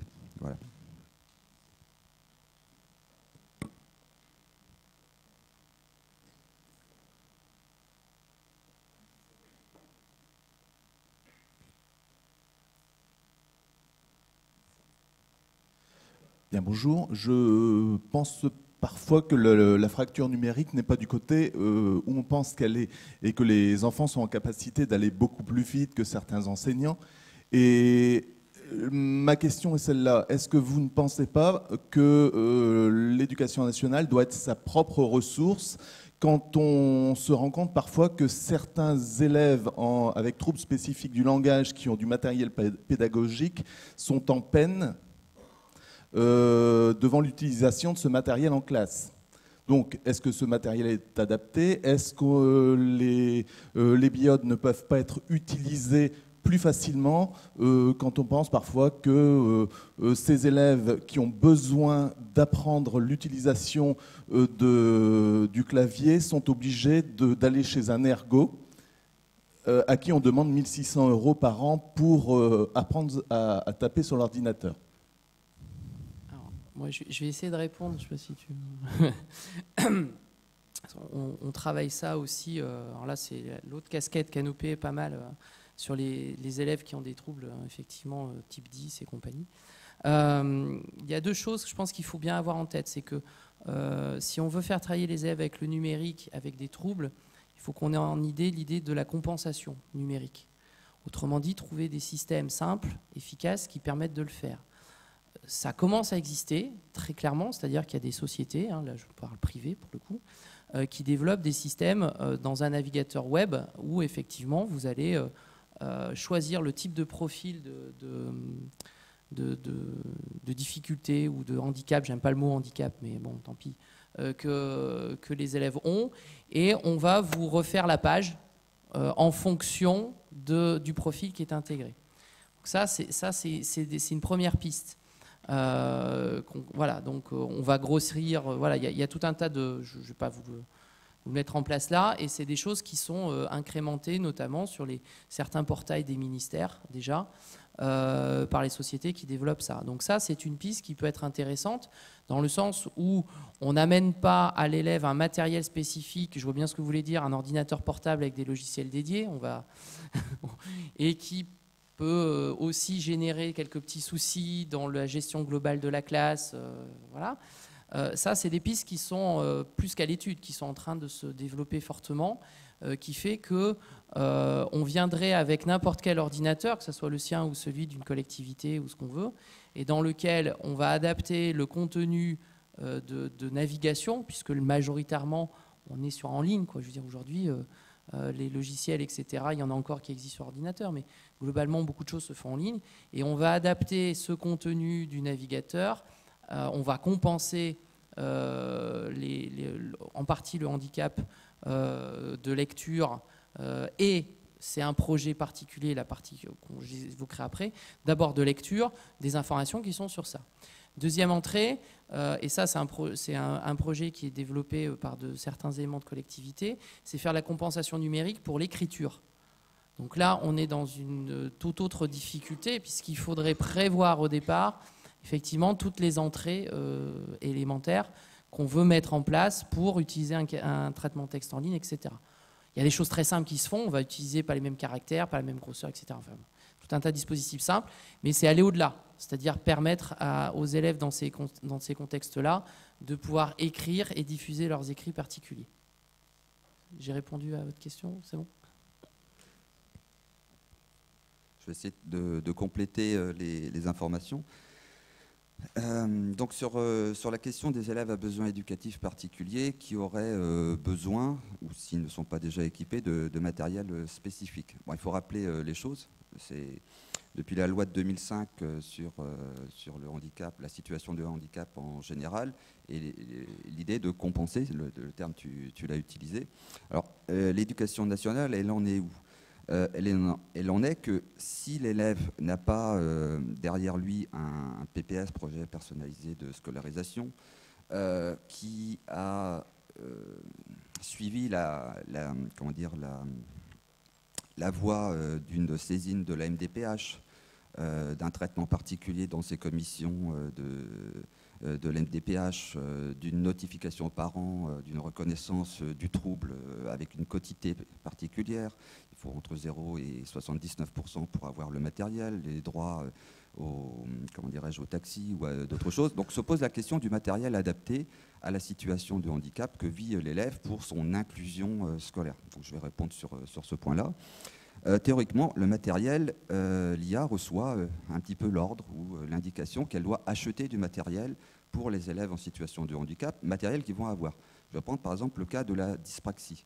Pour euh, la dyspraxie, la prévalence, c'est 3 à 4% euh, des élèves euh, en France scolarisés qui, qui l'ont, pas forcément détecté, mais c'est cette prévalence-là.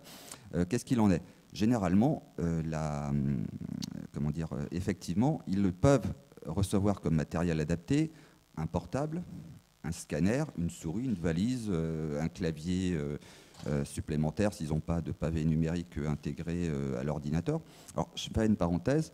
Euh, votre question elle est intéressante parce que l'année prochaine, ça sera aussi une journée numérique, il me semble, si je peux avancer les choses, Anne, qui sera autour du handicap, de l'inclusion et de, tout cela. Donc c'est vraiment une question qui est pertinente et donc j'espère l'année prochaine vous revoir pour ces réponses. Alors je reviens au matériel adapté. En fait, dans la réalité, c'est si dire, l'inspection académique euh, reçoit des notifications. Elle achète du matériel. Alors, euh, je ne vais pas citer les marques, mais je vais dire que c'est une marque chinoise qui a racheté euh, la division portable de IBM il y a quelques années. Et donc, c'est des portables à 399 euros qu'on trouve dans n'importe quel autre, qui, sont, qui font un poids de 2,5 kg, qui ont une autonomie faible, une batterie avec un fil qui n'est pas très important, euh, il faut 5 minutes pour les démarrer. Ils sont équipés de logiciels euh, qui survolent les choses. Bref, ils sont tout sauf adaptés. Et donc, quand les ergothérapeutes euh, viennent à domicile des enfants, il leur faut à peu près un an, un an et demi pour préparer le fait que l'enfant, eh bien, tout simplement, on va, poser des, on va poser des petites gommettes sur ses, sur ses touches. On va masquer le clavier. Hein. Si le parent veut utiliser l'ordinateur, pas de bol, il lui faut un clavier branché à côté. Et donc, il faudra un an pour être prêt. Sachant que la MDPH, il faut un an pour la saisir, avoir un retour, un an et demi pour préparer le gamin. Ce gamin va arriver dans sa classe avec le matériel deux ans à deux ans et demi après. Donc euh, il va y avoir euh, une difficulté. Pour connaître une famille euh, qui a cassé de façon malencontreuse le portable prêté par l'IA, ils ont dû en racheter un à 1600 euros, mais qui, qui tourne, qui démarre en 30 secondes. Donc, vous avez aussi la question des scanners. Parce que pour numériser, fabriquer les choses, mettre sur clé USB et ainsi de suite, on préconise souvent des scanners euh, comme vous les avez, euh, les anciens, là, avec des photocopieuses très grands. Sauf qu'il faut les brancher, il faut trouver une place pour l'élève à côté d'une prise de courant. Mais si déjà il a du mal à lire, on ne va pas le mettre devant, parce que devant, il n'y a, pas, les prises de courant, elles sont utilisées par le vidéoprojecteur, les TBI, ainsi de suite, l'ordinateur du maître ou du professeur. Donc il va être plutôt dans le fond, alors qu'il a des problèmes, en plus, comorbidité, surajouté. Euh, au problème de sa dyspraxie. Bref, le matériel adapté, euh, c'est dans l'intention, c'est pas tout à fait dans, euh, dans les faits. Second point, c'est le matériel. Second, euh, là, mon collègue a euh, parlé de l'adaptation par des logiciels et ainsi de suite. Mais principalement dans les Ulysse, TSA ou autres qui, sont, qui utilisent ça en, en- lycée, il y en a très peu encore en, en- je veux dire, en, école. Euh, en fait, c'est euh, l'enseignant euh, spécialisé plus l'AVS ou l'AESH qui est là, qui adapte le matériel. Quand le prof veut bien donner sa clé USB, donc ils agrandissent, ils changent les mots, ils, au lieu de créer du multiconsigne, ils monoconsignent chacune des tâches. Bref, il y a toute une intendance au-delà du matériel qui est une intendance pédagogique d'assistance à simplifier les consignes. Et encore, je n'ai donné que le cas des élèves dyspraxiques. Pour les dyslexiques, il y a, euh, il y a d'autres choses et je pourrais encore euh, conférencer là-dessus. Merci. Nous allons remercier euh, donc messieurs euh, Dérault et Staub. Nous les retrouvons dans la table ronde qui suit, puisqu'ils vont faire partie des, questionnants des deux collègues qui vous présenteront leur expérience, avec Monsieur Caron de l'Université Lille 1 euh, qui nous a rejoints. Donc je vous propose quand même de prendre, on va peut-être prendre une petite pause, une toute petite pause. Alors de 10 minutes, voilà, euh, précisément. Soyez de retour dans 10 minutes, s'il vous plaît. On va prendre un peu de temps sur la table ronde. Euh, J'espère que nos collègues nous pardonneront. De toute façon, on a un peu de, marge par rapport à l'heure du repas, hein, donc euh, ça ira.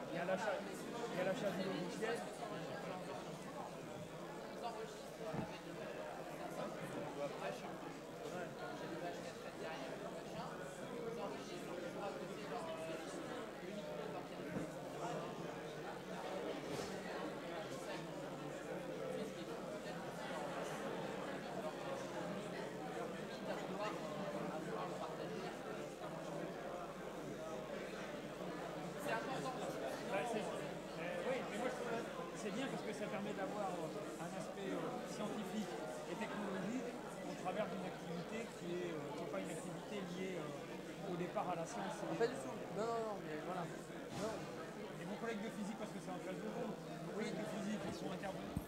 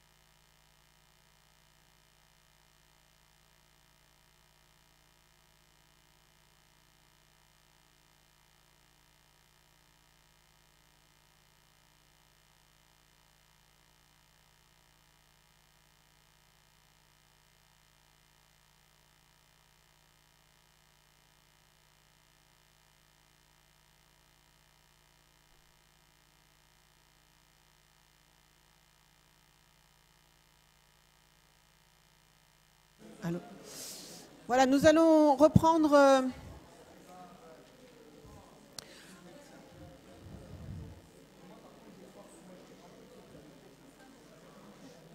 Voilà. Mesdames, je vous propose de vous installer. Donc, voilà, ouais, exactement. Bah, tu...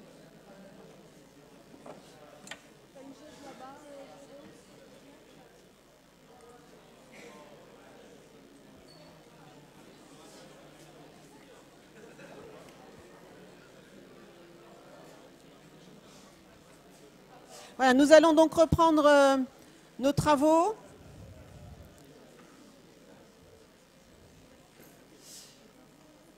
Alors, nous avons demandé à deux collègues euh, de nous faire part de leur expérience.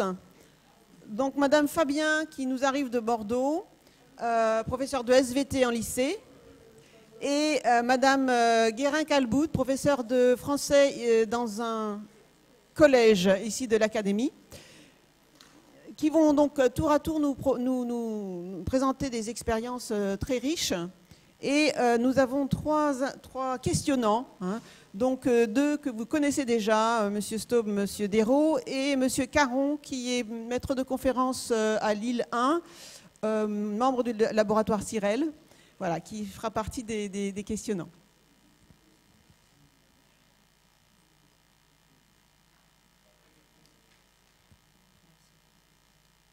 Vous m'entendez là? Parfait. Écoutez, je suis très contente d'être euh, parmi vous aujourd'hui pour euh, présenter effectivement un projet euh, qui a été construit. on a commencé à construire ce projet l'année dernière au mois de mars-avril, quelque chose comme ça, avec une collègue. alors je suis de Bordeaux, mais je travaille aussi avec une collègue qui travaille en lycée au lycée français de Vienne en Autriche. Donc vous voyez, on fait un petit peu des euh, choses à distance aussi. Euh, donc, je vais vous présenter ce. Euh, c'est PC de gauche, c'est ça? Je ne sais pas où il est le monsieur du droite.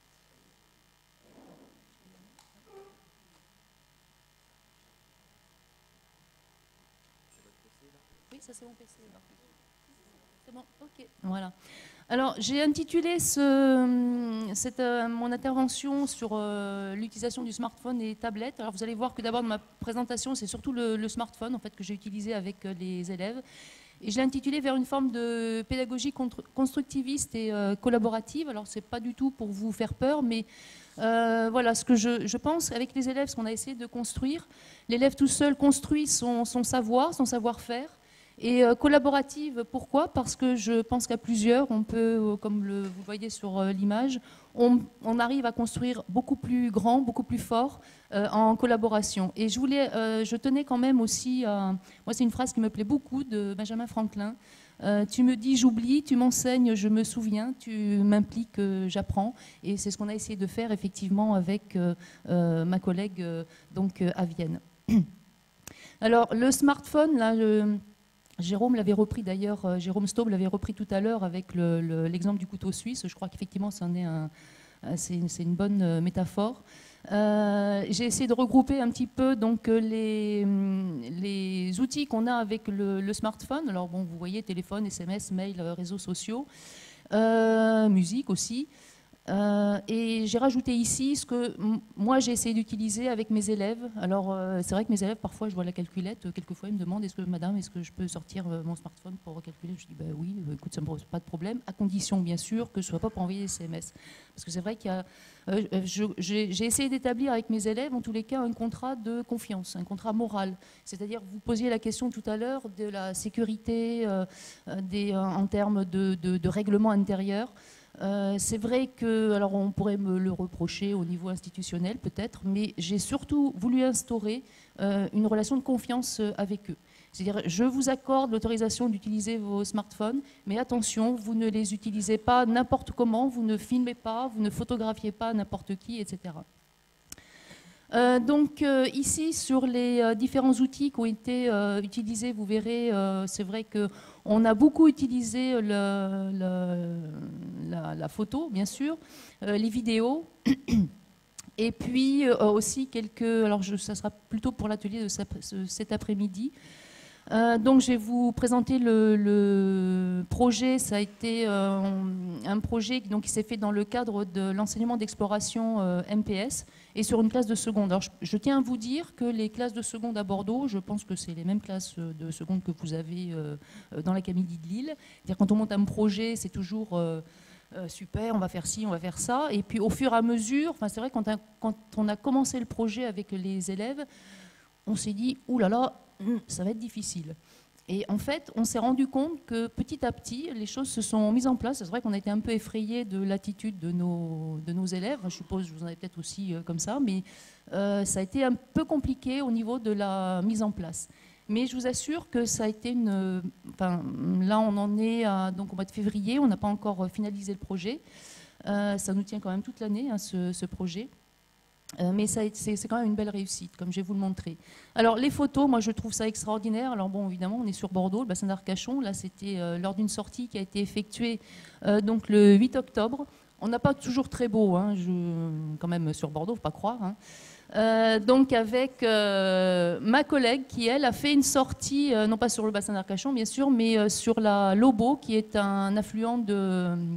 de J'ai un blanc. Aidez-moi. Personne ne m'aide. Bon, tant pis. Euh, donc, elle a fait aussi une sortie avec euh, ses élèves. Alors ça, c'est une magnifique photo prise par euh, une élève de la plage du Petit Nice. Alors c'est assez amusant, enfin je veux dire comme anecdote, c'est que mes élèves ont pris beaucoup de photos et je ne les, ai pas vus prendre leurs photos, ils ont fait plein. Et quand on est revenu euh, en classe, je leur dis mais vous avez fait des photos? Oui, oui, madame. Mais il faudrait quand même qu'on les partage. Et à partir du moment où j'ai montré de l'intérêt, euh, je leur ai dit écoutez, vos photos sont superbes, la preuve. hein. Euh, et là, alors là, j'ai eu une flopée de photos qui sont arrivées, de vidéos euh, qu'on a partagées sur, euh, sur le Drive. Et donc, on a pu monter, voilà aussi quelques exemples de, euh, de photos qu'ils ont prises sur place. Euh, ici, euh, on a euh, intégré aussi la physique-chimie. Là, c'était pour prendre des mesures. Bon, quelques exemples hein, de biodiversité donc, sur euh, bassin d'Arcachon. On a utilisé aussi, je leur ai fait utiliser une petite appli sur le- leur smart- smartphone pardon, qui s'appelle Sketch, qui est très simple à utiliser, euh, qui permet, quand on est euh, en sortie, de noter automatiquement tout de suite euh, bah, ce qu'on est en train de voir. Parce que vous savez, quand on retrouve les photos après, quand on fait... je ne sais plus ce que j'ai vu là, je ne sais plus ce que c'était. Donc ça, c'est très pratique. Alors vous allez me dire, parce que tout à l'heure, vous disiez, oui, mais les élèves n'ont pas toujours le bon appareil, ne peuvent pas toujours se connecter. Alors pour nous, ça n'a pas été un problème parce que sur une classe de 35, parce que c'est une classe de 35, euh, on a toujours allez, une quinzaine d'élèves qui vont arriver à euh, utiliser les applis, à les télécharger sans souci. Parce que notre objectif, et ça je leur avais bien dit, c'est qu'on fait du collaboratif. C'est-à-dire que je ne prends pas ma photo pour moi, mais je prends ma photo, j'utilise Sketch, je peux annoter. Mais après, l'intérêt, c'est de partager avec, euh, avec la, la classe. Euh, une autre appli qu'on a utilisée sur, téléchargée aussi sur le smartphone, ça s'appelle le PlantNet, qui permet une détermination des espèces. Donc on prend la photographie, euh, ça renvoie donc euh, sur euh, la- l'appli euh, PlantNet et on a tout un tas de photos qui, nous sont données et ce qui nous permet de déterminer donc sur place les espèces qui sont qu'on a pu voir lors de la sortie. Alors ça c'est intéressant parce que ça laisse une certaine autonomie à l'élève parce que très souvent c'est Madame qu'est-ce qu'il y a là, Madame qu'est-ce qu'on a vu là, etc. Là ils sont dans une phase de, recherche, de démarche par eux-mêmes. Alors des vidéos, euh, voilà, ça c'est un exemple de vidéo aussi qui a été pris lorsqu'on a fait un prélèvement sur la jetée des racks à Arcachon. Alors ça bouge un peu, mais euh, ce qui est intéressant, c'est qu'ils vont en garder le souvenir. Et donc ça c'est un élève qui a pris euh, cette, cette vidéo que je trouve très sympa, puisque ça leur permet aussi de- de revoir le matériel qui a été utilisé. Euh, dans la suite du projet, ensuite, on a fait euh, des observations au laboratoire. Euh, donc là, on a utilisé des loupes binoculaires. Et la photo que vous voyez donc ici, c'est vraiment une photo prise avec un. Enfin, ils font des photos extraordinaires. Je leur dis souvent, mais je suis jalouse parce que moi, j'arrive pas aussi bien. Donc la photo que vous avez ici, c'est une photographie qui a été prise avec un smartphone directement au niveau de la loupe binoculaire. Là, on peut voir des, des copépodes puisqu'on était sur l'observation du plancton. Euh, la chimie s'est euh, intégrée à notre projet avec euh, mon collègue de physique-chimie qui m'a énormément épaulé, qui m'a énormément aidé sur ce projet. Donc il a appliqué la même démarche, c'est-à-dire que euh, on a fait des prélèvements donc euh, d'eau au niveau du bassin d'Arcachon et donc lui a travaillé sur la recherche par exemple d'ions non métalliques, euh, des ions métalliques, il a fait des mesures de pH, etc. Et donc les élèves ont aussi construit petit à petit leur, le document que vous avez là, c'est un, document qui a été produit par les élèves, hein, c'est pas nous qui l'avons mis en place. Et donc ce sont eux qui ont fait les photographies de leurs expériences, qui ont légendé par la suite. Donc l'élève devient vraiment producteur. C'est lui qui euh, produit son, compte rendu en utilisant donc euh, leur, smart- leur smartphone, pardon, excusez-moi. Euh, de même qu'ils ont intégré aussi les résultats qu'on avait effectués en fonction de la profondeur, température, pression, luminosité, etc. Alors, les expériences, enfin, tous- les travaux qui ont été effectués ont été partagés sur. Alors, c'est pas que je veuille faire de la pub pour Google, hein, mais c'est vrai qu'on bénéficie au lycée euh, d'un Google Drive, ce qui nous a permis d'échanger et de, partager donc euh, tous les euh, travaux qui ont été effectués par les élèves. Alors ça, c'est intéressant, je l'ai mis ici. Donc on a à la fois l'aspect collaboratif entre les élèves et avec les enseignants, parce que bien sûr, quand ils nous envoient des documents par le Drive, on leur demande toujours que ce soit en partage avec nous, de façon à ce qu'on puisse corriger bien sûr les erreurs. Et c'est une correction qui se fait, elle n'est pas instantanée, bien sûr, on leur dit, euh, on ne peut pas le faire dans les cinq minutes qui suivent, mais ça se fait très rapidement. C'est-à-dire qu'ils ont un corrigé finalement euh, assez rapidement de leurs euh, de leurs, euh, résultats expérimentaux. On est dans la collaboration, mais on est également dans le savoir. Alors là, j'ai pris l'exemple de mon collègue en physique-chimie euh, qui a travaillé sur la dilution et puis le, le- dosage, notamment des ions chlorure de, de l'eau du bassin. Alors ce travail, moi, m'a permis ensuite de rebondir sur un sur euh, sur l'adaptation donc euh, des euh, végétaux dans un environnement donc salé, ce qui fait que j'ai construit ensuite un TP avec eux sur des cellules. On a étudié l'effet de l'eau salée à 37 euh, grammes par litre et la comparaison avec de l'eau salée par contre à 9 grammes par litre. Alors les photos que vous voyez encore à nouveau, ce sont encore des photos prises par les élèves au microscope, qui sont d'une qualité absolument extraordinaire. Donc microscopie optique. Alors ensuite, euh, la, phase suivante, ça a été euh, d'essayer de montrer aux élèves aussi que ce, qu'ils produisent, c'est intéressant et que ça peut intéresser aussi euh, les autres, élèves du, lycée. Donc en fait, on a utilisé ensuite un mur virtuel, notamment avec Padlet, qui nous a permis de montrer leurs résultats. Alors par exemple, vous avez ici, euh, là j'ai bien mis, hein, travaux de recherche intégrant leur euh, photographie. Si j'ai une bonne connexion, pardon, excusez-moi. Ah, ça, c'est le genre de truc. euh, Je vais un peu vite parce que je sais que j'ai pas trop de. Voilà, super. Je crois que c'est le stress qui me fait. euh, Alors, je vais revenir à partir de la diapositive. Voilà. Euh, donc, je disais, voilà un exemple de travaux qui ont été mis en ligne euh, par les élèves. Non, voilà. Bon, j'ai pas le lien. Donc voilà. Bon, écoutez, je suis désolée.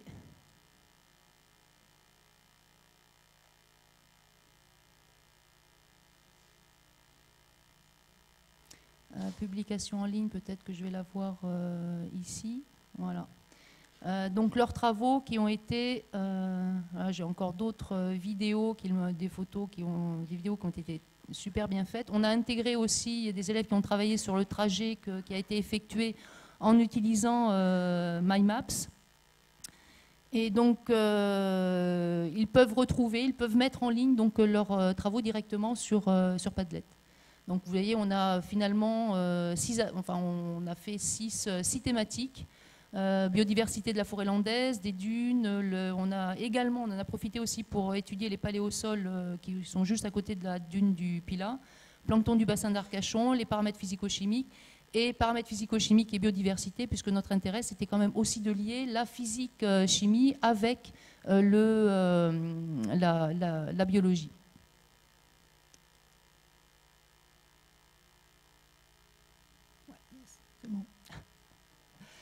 Alors, je voudrais revenir aussi sur euh, toute la mise en place qui a été euh, nécessaire sur ce projet biodiversité, parce que je crois que le gros souci des enseignants, quand même, c'est euh, on s'est retrouvé quand même avec 35 élèves en début d'année.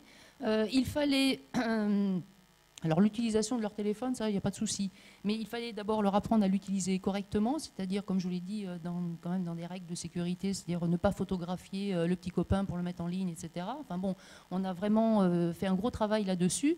Mais non seulement ça, mais il a fallu aussi, euh, début septembre, euh, commencer à leur, euh, leur apprendre à utiliser tous les outils du numérique, comme le partage effectivement par Google Drive. Et ça, je vous assure, c'est un énorme travail. Parce qu'on s'est rendu compte qu'ils avaient très peu d'autonomie par rapport à ce type de travaux collaboratifs. Alors on dit souvent que oui, nos élèves sont nés avec le, numérique, et c'est vrai, mais ils ne savent pas utiliser les outils dans un cadre euh, scolaire. Et ce que je pense intéressant, c'est leur apprendre, les éduquer à l'utilisation de ces outils, de façon à ce qu'ils puissent ensuite l'utiliser dans un cadre, euh, bah, plus tard quand ils feront leurs études, ou aussi dans un cadre professionnel. Et c'est vrai que là, on est un petit peu tombé des nues. Quand on a mis en place ce projet, on s'est dit, oulala, là, là aussi, ça va être un petit peu, un petit peu compliqué.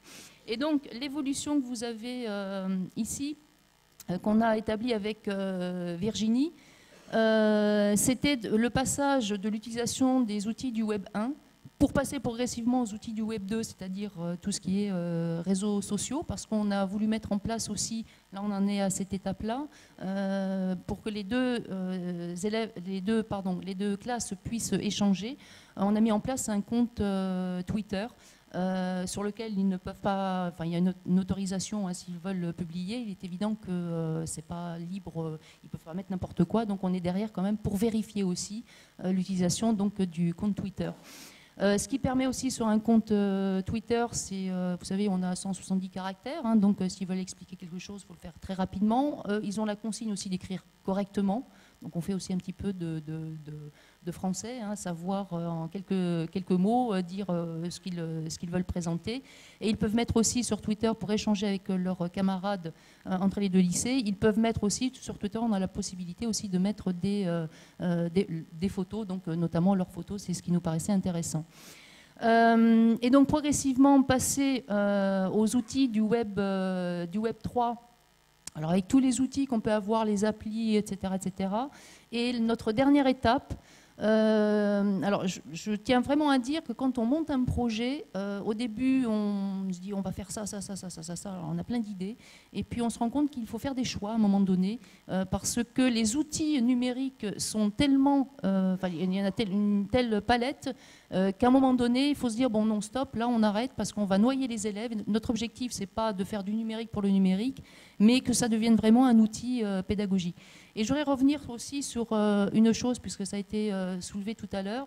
Moi, j'ai trouvé euh, dans cette classe avec laquelle je, travaille avec mon collègue de physique-chimie, on a trouvé euh, au niveau de l'ambiance de classe, euh, comment dirais-je, une dynamique de classe qui s'est instaurée euh, avec des élèves qui sont devenus beaucoup plus autonomes en cours. C'est-à-dire qu'on a tiré des bénéfices qu'on a, qu'on, a retrouvés nous en classe, alors pas uniquement en MPS, hein, moi je veux dire en SVT, en classe de SVT. j'ai retrouvé aussi cet esprit de collaboration. Euh, cet esprit de, vouloir échanger, d'autonomie. Euh, je, vois par, exemple quand je les mets maintenant en, travaux pratiques, bon, c'est vrai que j'utilise aussi pas mal les, tâches complexes, euh, mais c'est vrai que j'ai des élèves dynamiques en face de moi. et je dois dire aussi, ce qui nous a paru intéressant avec mon collègue, c'est que la, position de l'enseignant a véritablement changé. C'est-à-dire qu'on n'a plus, plus été dans un modèle de, juste de transmission, euh, bon, parfois avec participation, hein, mais je ne suis pas en train de dire qu'il faut euh, éliminer euh, les, modèles auxquels on est habitué, parce que j'y reviens aussi, moi, au modèle transmissif, ça m'arrive aussi d'être en transmission avec mes élèves, juste avec une petite participation. Mais ce qui était très intéressant dans ce travail avec eux, c'est leur faire confiance, et en leur faisant confiance, euh, cette dynamique qui s'est instaurée. Et moi, ma position d'enseignante a un peu changé dans la mesure où je me suis retrouvée à les accompagner, à travailler avec eux, être euh, auprès d'eux. Et ça, vraiment, ça a été une expérience particulièrement euh, enrichissante. Voilà. Alors je sais que et, euh, il y a d'autres projets qui ont été euh, mis en place et qui fonctionnent de la même façon. Alors là, je vous dis, c'est une collaboration. On est évidemment c'est une triangulaire hein, avec Virginie en, en Autriche, mon collègue et puis euh, moi-même. Et il y a des travaux qui ont été faits avec euh, sur l'académie de, Lille par Sébastien Franck, euh, qui qui travaille aussi dans cette démarche-là avec l'utilisation donc du BIOT qui est intégré dans un projet entre aussi plusieurs établissements. Et c'est vrai que les élèves là sont créateurs. Et je, en, en termes d'apprentissage, c'est vraiment très très intéressant. Et en termes aussi, je, comme je, crois que j'insiste beaucoup sur euh, l'ambiance de classe. L'ambiance de classe. Voilà. J'espère que je n'ai pas été euh, trop longue, parce que j'avais juste un quart d'heure. Je vais passer la parole à ma collègue. Je vous remercie.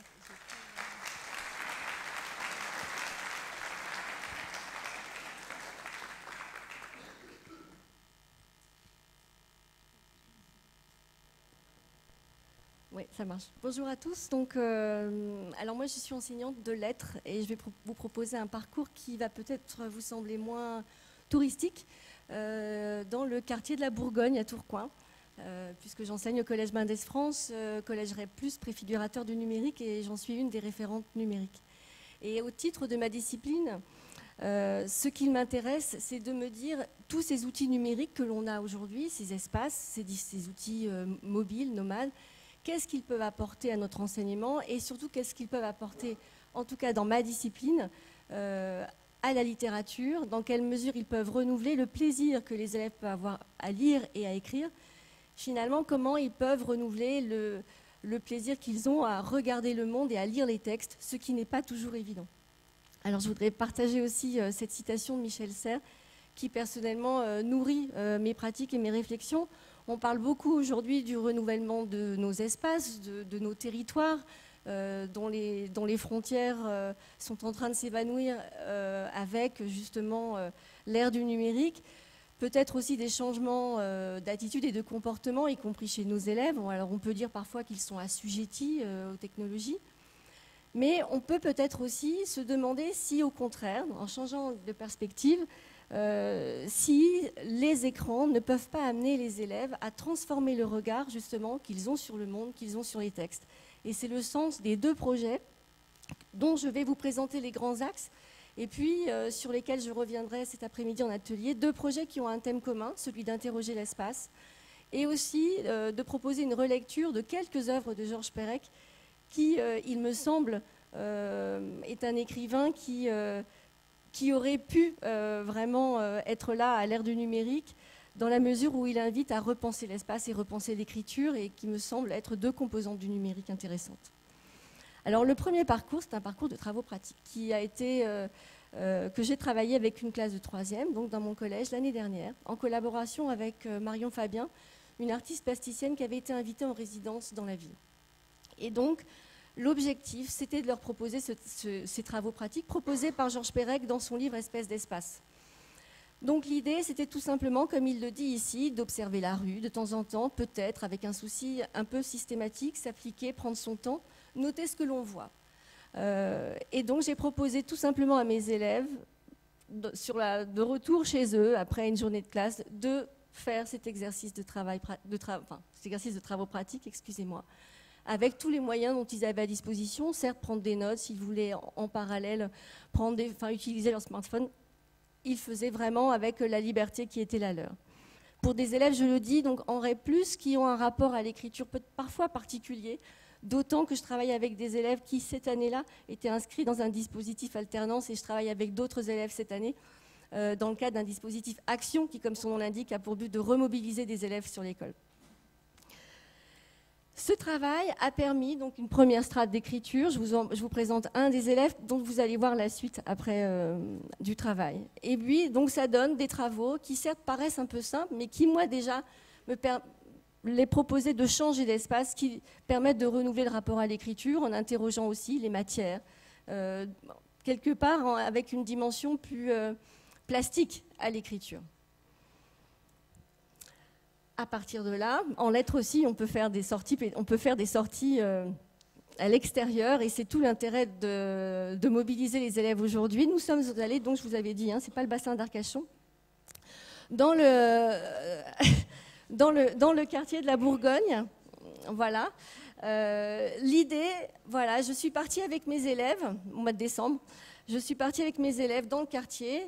Ils avaient à disposition leur téléphone, des tablettes, puisque nous avons des tablettes à disposition dans l'établissement. Et l'objectif était d'une part de faire des photos.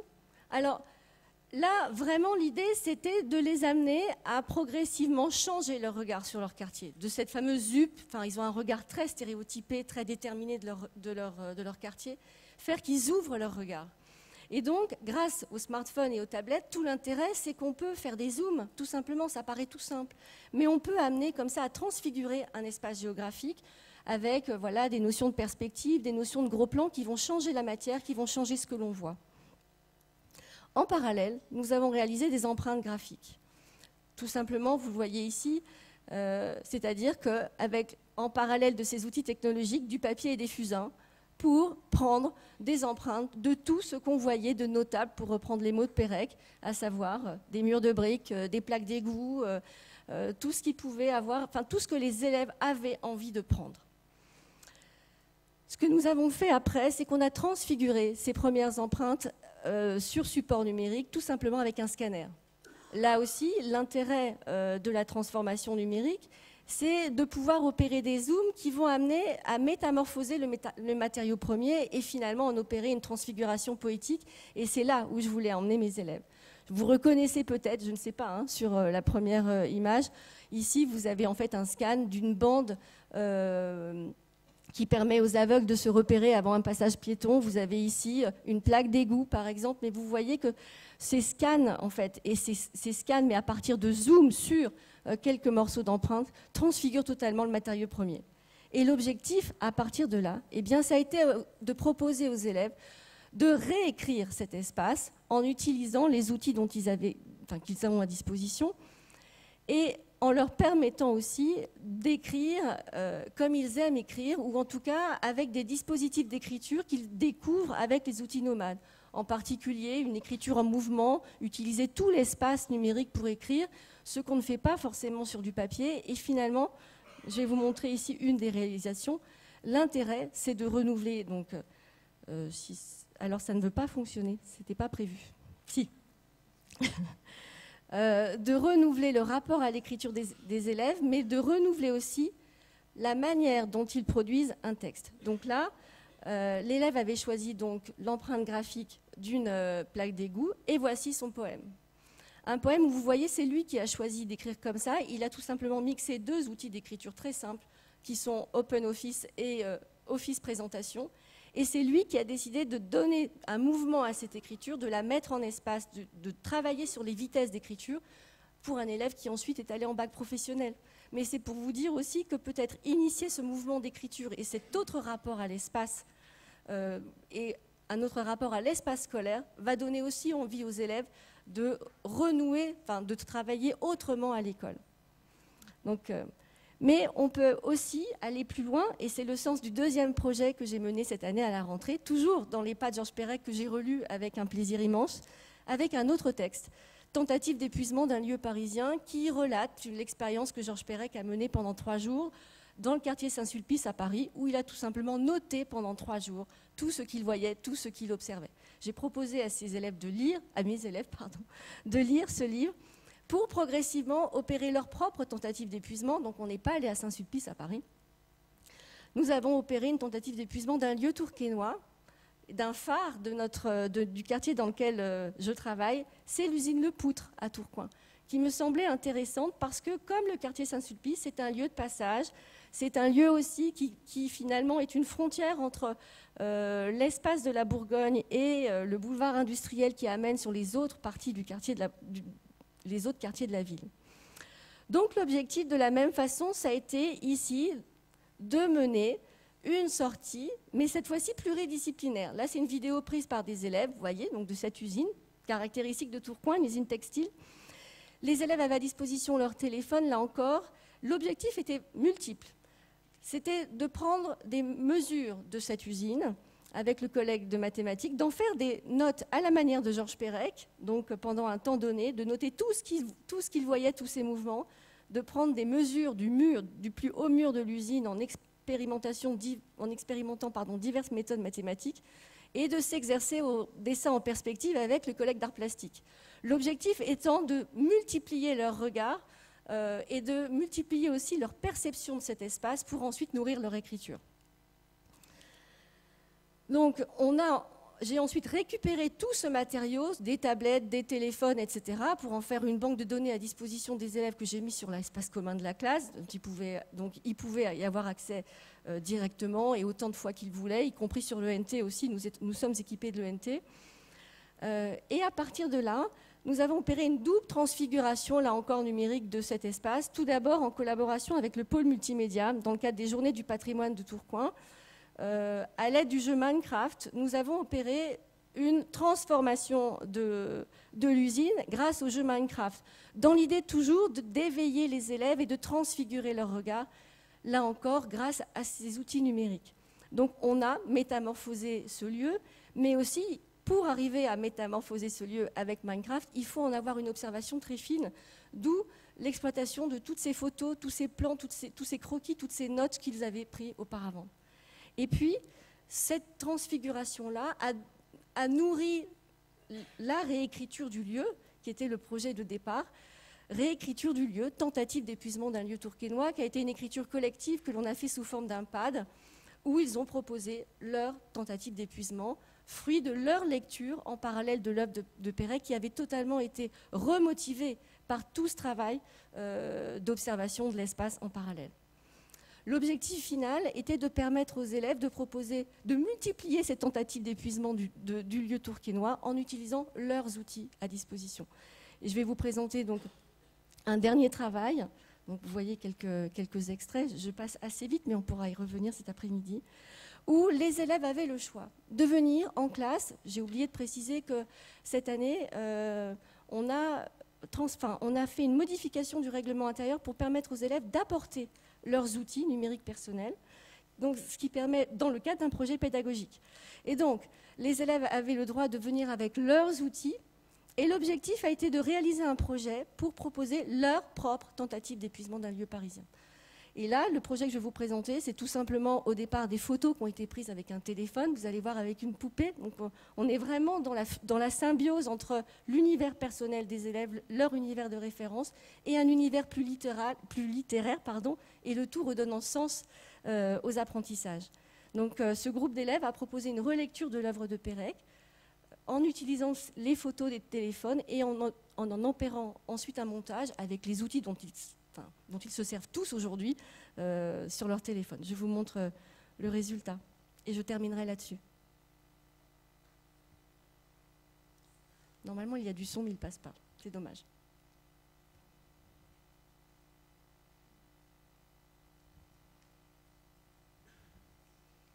Donc ici sont repris les premiers mots euh, de, tentative d'épuisement d'un lieu parisien. Et les élèves ont opéré en fait ce, ce récit fictionnel multimodal de l'œuvre. Avec la musique, c'est mieux.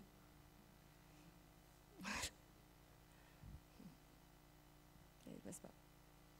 Elle passe pas la musique.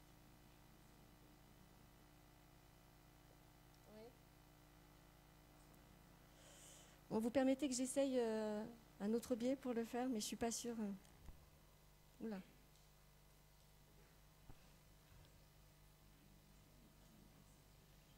Excusez-moi de ce temps. euh, Et de vous montrer euh, les horaires de mon téléphone, de mon.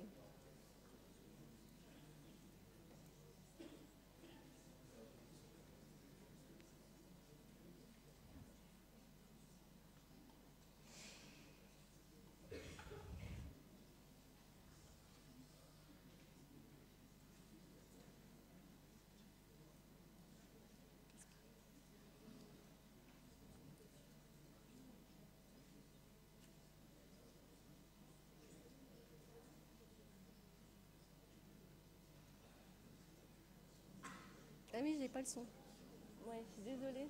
Je, je- je me dépêche. Pardon? Oui, oui, oui, ça. Oui.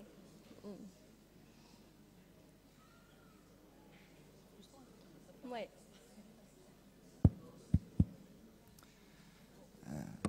Donc merci encore à, à nos deux intervenantes. Donc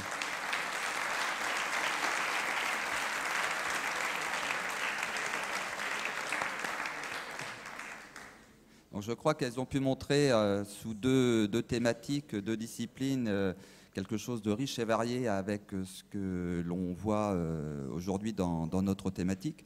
Moi, j'avais juste envie, après je laisserai la parole en fait tout simplement à vous. Je pense que vous avez sans doute des, réactions, j'espère enjouées et, et qui vous titillent de, questions pour euh, les leur poser.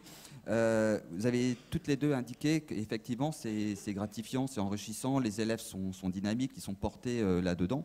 En fait, vous êtes totalement dans ce qu'on appelle les climats motivationnels favorables aux apprentissages et surtout à l'expression des choses. Et euh, ce sont des, travaux qui existent, mais qui ne recoupent pas toujours euh, le numérique, qui sont comment les enseignants créent euh, des conditions favorables à l'autonomie des élèves, à la création de sentiments, de, de- compétences dans les activités qu'ils réalisent, et comment aussi se relier aux autres dans, dans la classe. Et je crois que là, le numérique, tel que vous les avez présentés, ont mis tous ces élèves en projet. C'est d'abord des attitudes enseignantes, mais aussi des des manières de faire dans, euh, dans les espaces qui vous sont euh, euh, de classe ou à l'extérieur.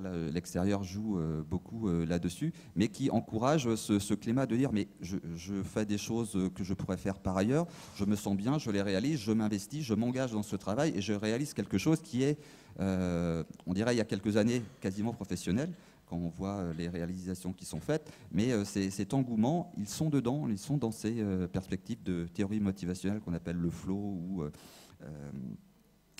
comment dirais-je, l'autodétermination chez Dossier Ryan. Et je voulais juste tout simplement indiquer que vous avez su susciter ce flow, cette expérience optimale ou cette autodétermination chez les élèves par justement ces projets qui sont, qui sont derrière.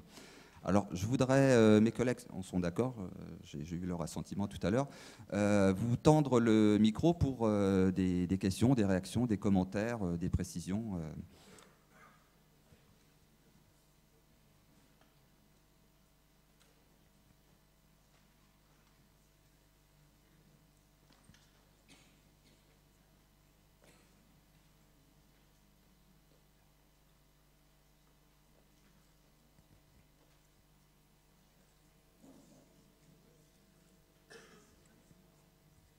D'abord, je vous remercie hein, pour votre présentation de collègues. On a, vraiment, on a vraiment bien apprécié.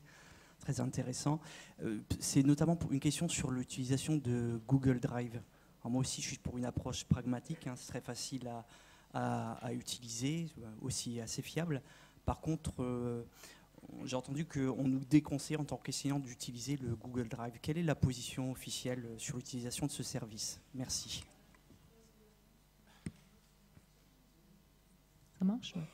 Euh, alors au lycée, euh, ça a été une, euh, ça fait trois ou quatre ans qu'on utilise maintenant le, Drive.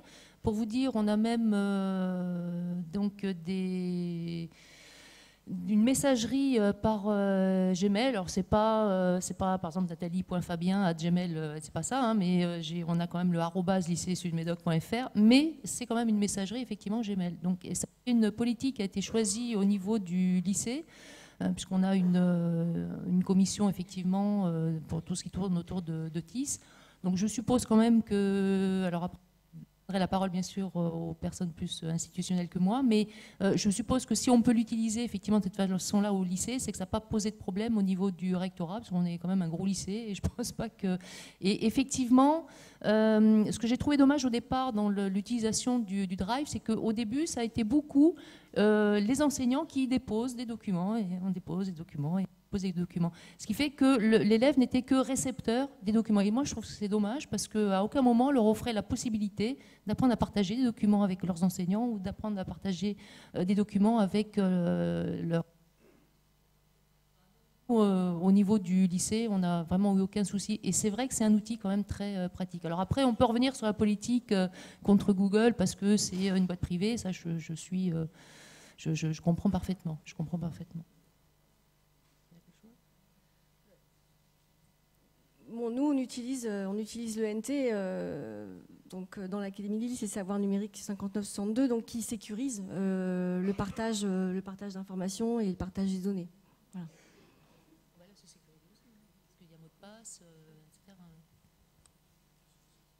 répondu à peu près à votre euh, moitié-moitié. Je, vais essayer de me faire le, le porte-parole de l'institution en, essayant de ne pas trop déformer ce qu'a dit Monsieur Leclerc. euh, je ne sais pas s'il est encore dans la salle la semaine dernière à la conférence. Moi, je suis personnel de direction. Euh, Monsieur Leclerc a attiré l'attention de nous tous sur euh, le fait d'utiliser des outils collaboratifs qui appartiennent à des sociétés privées. Euh, et je vais essayer de pas déformer son propos et je partage son avis. On ne veut brider aucune initiative. Et franchement, bravo, vous faites des choses vraiment fabuleuses. Mais ce sont des sociétés privées. Alors, l'ENT offre un espace qui peut être moins souple à certains moments, mais il évolue sans arrêt et c'est des usages qui le font évoluer. Il ne faut pas qu'on hésite à solliciter l'éditeur, à Cosmos, pour qu'il fasse évoluer le produit, même si ça a un coût aussi. Euh, mais c'est un espace sécurisé, académique, euh, identifié. Le problème de Google, c'est que vous le savez bien, hein, l'enjeu de l'économie numérique au XXIe siècle, c'est le big data. Ces, sociétés ne vivent en, en grosse partie que parce qu'elles collectent des données sur les utilisateurs. Or, c'est pas neutre, déjà pour nous-mêmes. Regardez comment Google euh, scanne vos Gmail. Et demandez-vous pourquoi Windows 10 est gratuit et pourquoi Microsoft euh, pilonne les utilisateurs pour euh, qu'ils l'adoptent. Mais on accueille des enfants. C'est pas n'importe quel public. Et on se doit de les protéger. Mais comme je vous dis, on ne veut pas brider vos initiatives, mais il y a- je sais que la DSI, et notamment son service juridique, M. Leclerc le disait la dernière fois, travaille sur ça parce que c'est des questions euh, vives et sur lesquelles on doit être extrêmement prudent. Alors c'est un équilibre à trouver. Parce que euh, ce que vous proposez, c'est super, mais je, un vais, je vais quand même répondre aussi. euh, c'est que le souci qu'on a, c'est qu'on a besoin d'outils pour mettre en œuvre ces, euh, enfin, ce qu'on essaie de mettre en place avec nos élèves. Le, le problème, c'est qu'on nous offre des outils qui ne sont pas forcément euh, dans l'attente des enseignants. Ça, je, excusez-moi, je sais que c'est peut-être pas très politiquement correct, mais je crois que notre gros souci, en fait, euh, je vais vous donner un autre exemple. On a eu euh, au lycée euh, des tablettes. Quand on est on était content d'avoir des tablettes, hein. on en a, je crois, une dizaine à peu près. Seulement, elles n'étaient pas adaptées à euh, ce qu'on avait envie de faire avec euh, euh, les élèves. Donc, on a une demande, nous, enseignants, et puis ce qu'on nous propose, c'est pas, peut-être pas forcément non plus adapté à ce dont on a besoin. Donc, voilà. Oui, simplement euh, pour dire que cet après-midi, c'est justement euh, ce genre d'éléments que j'essaierai d'aborder en vous montrant des, expériences qu'on a menées euh, déjà dans les années 2007-2008. Et il faut savoir que c'est des thèmes que nous avons déjà en recherche essayé de- d'aborder en, fait en distinguant l'espace d'action qui lui euh, peut être privé et peut euh, utiliser des outils privés, et puis l'espace académique qui est l'endroit où on va rendre le travail. Et euh, quand on interroge les, élèves, on se rend bien compte que eux sont tout à fait conscients de, ils, ils ont une injonction un petit peu paradoxale entre l'usage qu'ils veulent faire en fait des outils privés de leur téléphone et puis la réticence qu'ils ont à laisser entrer l'enseignant dans leur espace privé. Et on se rend compte qu'effectivement, ils utilisent Gmail, ils utilisent Google, etc. Mais la plupart du temps, ils créent une adresse et une identité numérique qui est, elle, une identité numérique euh, qui n'est pas la leur. Qui est, euh, ils ont un autre email qu'ils utilisent pour ces activités-là. Moi, je ne pense pas que ça soit du tout gênant dans des activités d'utiliser euh, des euh, outils privés. Et euh, ce n'est pas le problème de l'enseignant, c'est le problème euh, de l'État de- d'essayer de, faire respecter aussi des règles et que les entreprises privées ne, ne commencent pas à- espionner les activités qui sont menées. Les enseignants ont toujours été dans des zoos, ont toujours été dans des, des espaces qui étaient des espaces privés, et c'est quand on va euh, à Poitiers au Futuroscope, euh, le Futuroscope ne vérifie pas et ne prend pas, euh, n'espionne pas les, élèves qui vont au Futuroscope, ce qui n'empêche pas qu'on peut mener des activités là-bas. Ce qu'il faut bien comprendre, c'est la distinction entre ces activités que l'on mène, c'est les activités qu'on peut mener en classe et dans lesquelles on va les mener avec des outils privés, et puis le rendu des travaux qui, eux, ont- doivent avoir lieu dans un espace institutionnel, puisque c'est le moment où on va institutionnaliser une activité qui, au départ, effectivement, peut être un petit peu poreuse entre le et heureusement qu'elle l'est d'ailleurs entre le privé et l'académique. Donc c'est un petit peu cette idée-là que euh, j'essaierai d'aborder moi aussi ce soir.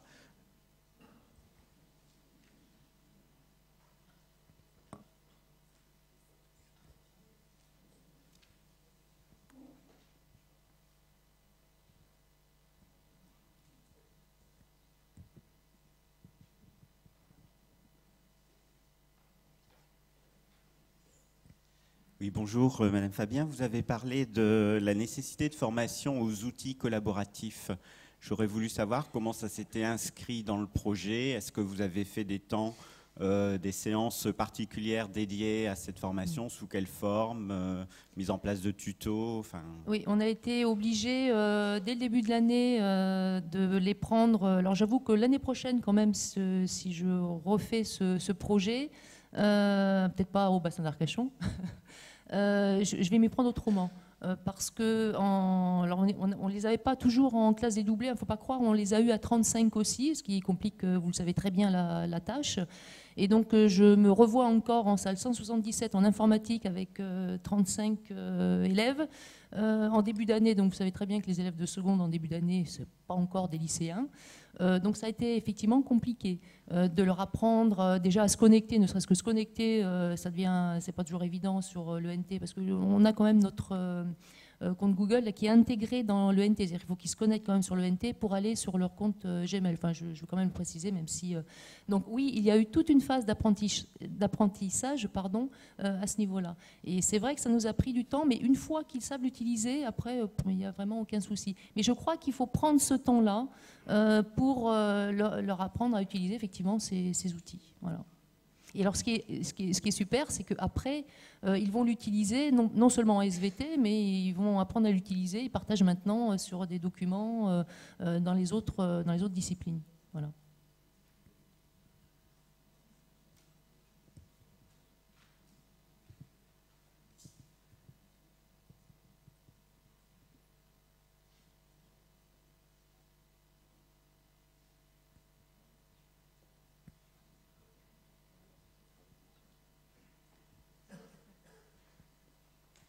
Euh, je crois que plusieurs fois a été évoqué euh, tout à l'heure avec, euh, avec Jérôme et avec vous également, le statut, le regard qu'ont les élèves sur le document qu'ils produisent, à la fois sa qualité, sa fiabilité, le fait qu'ils le mettent à disposition de façon contestée ou pas sur, des espaces publics ou, privés. Quelle est votre réflexion sur, sur ce statut du document qu'ils produisent?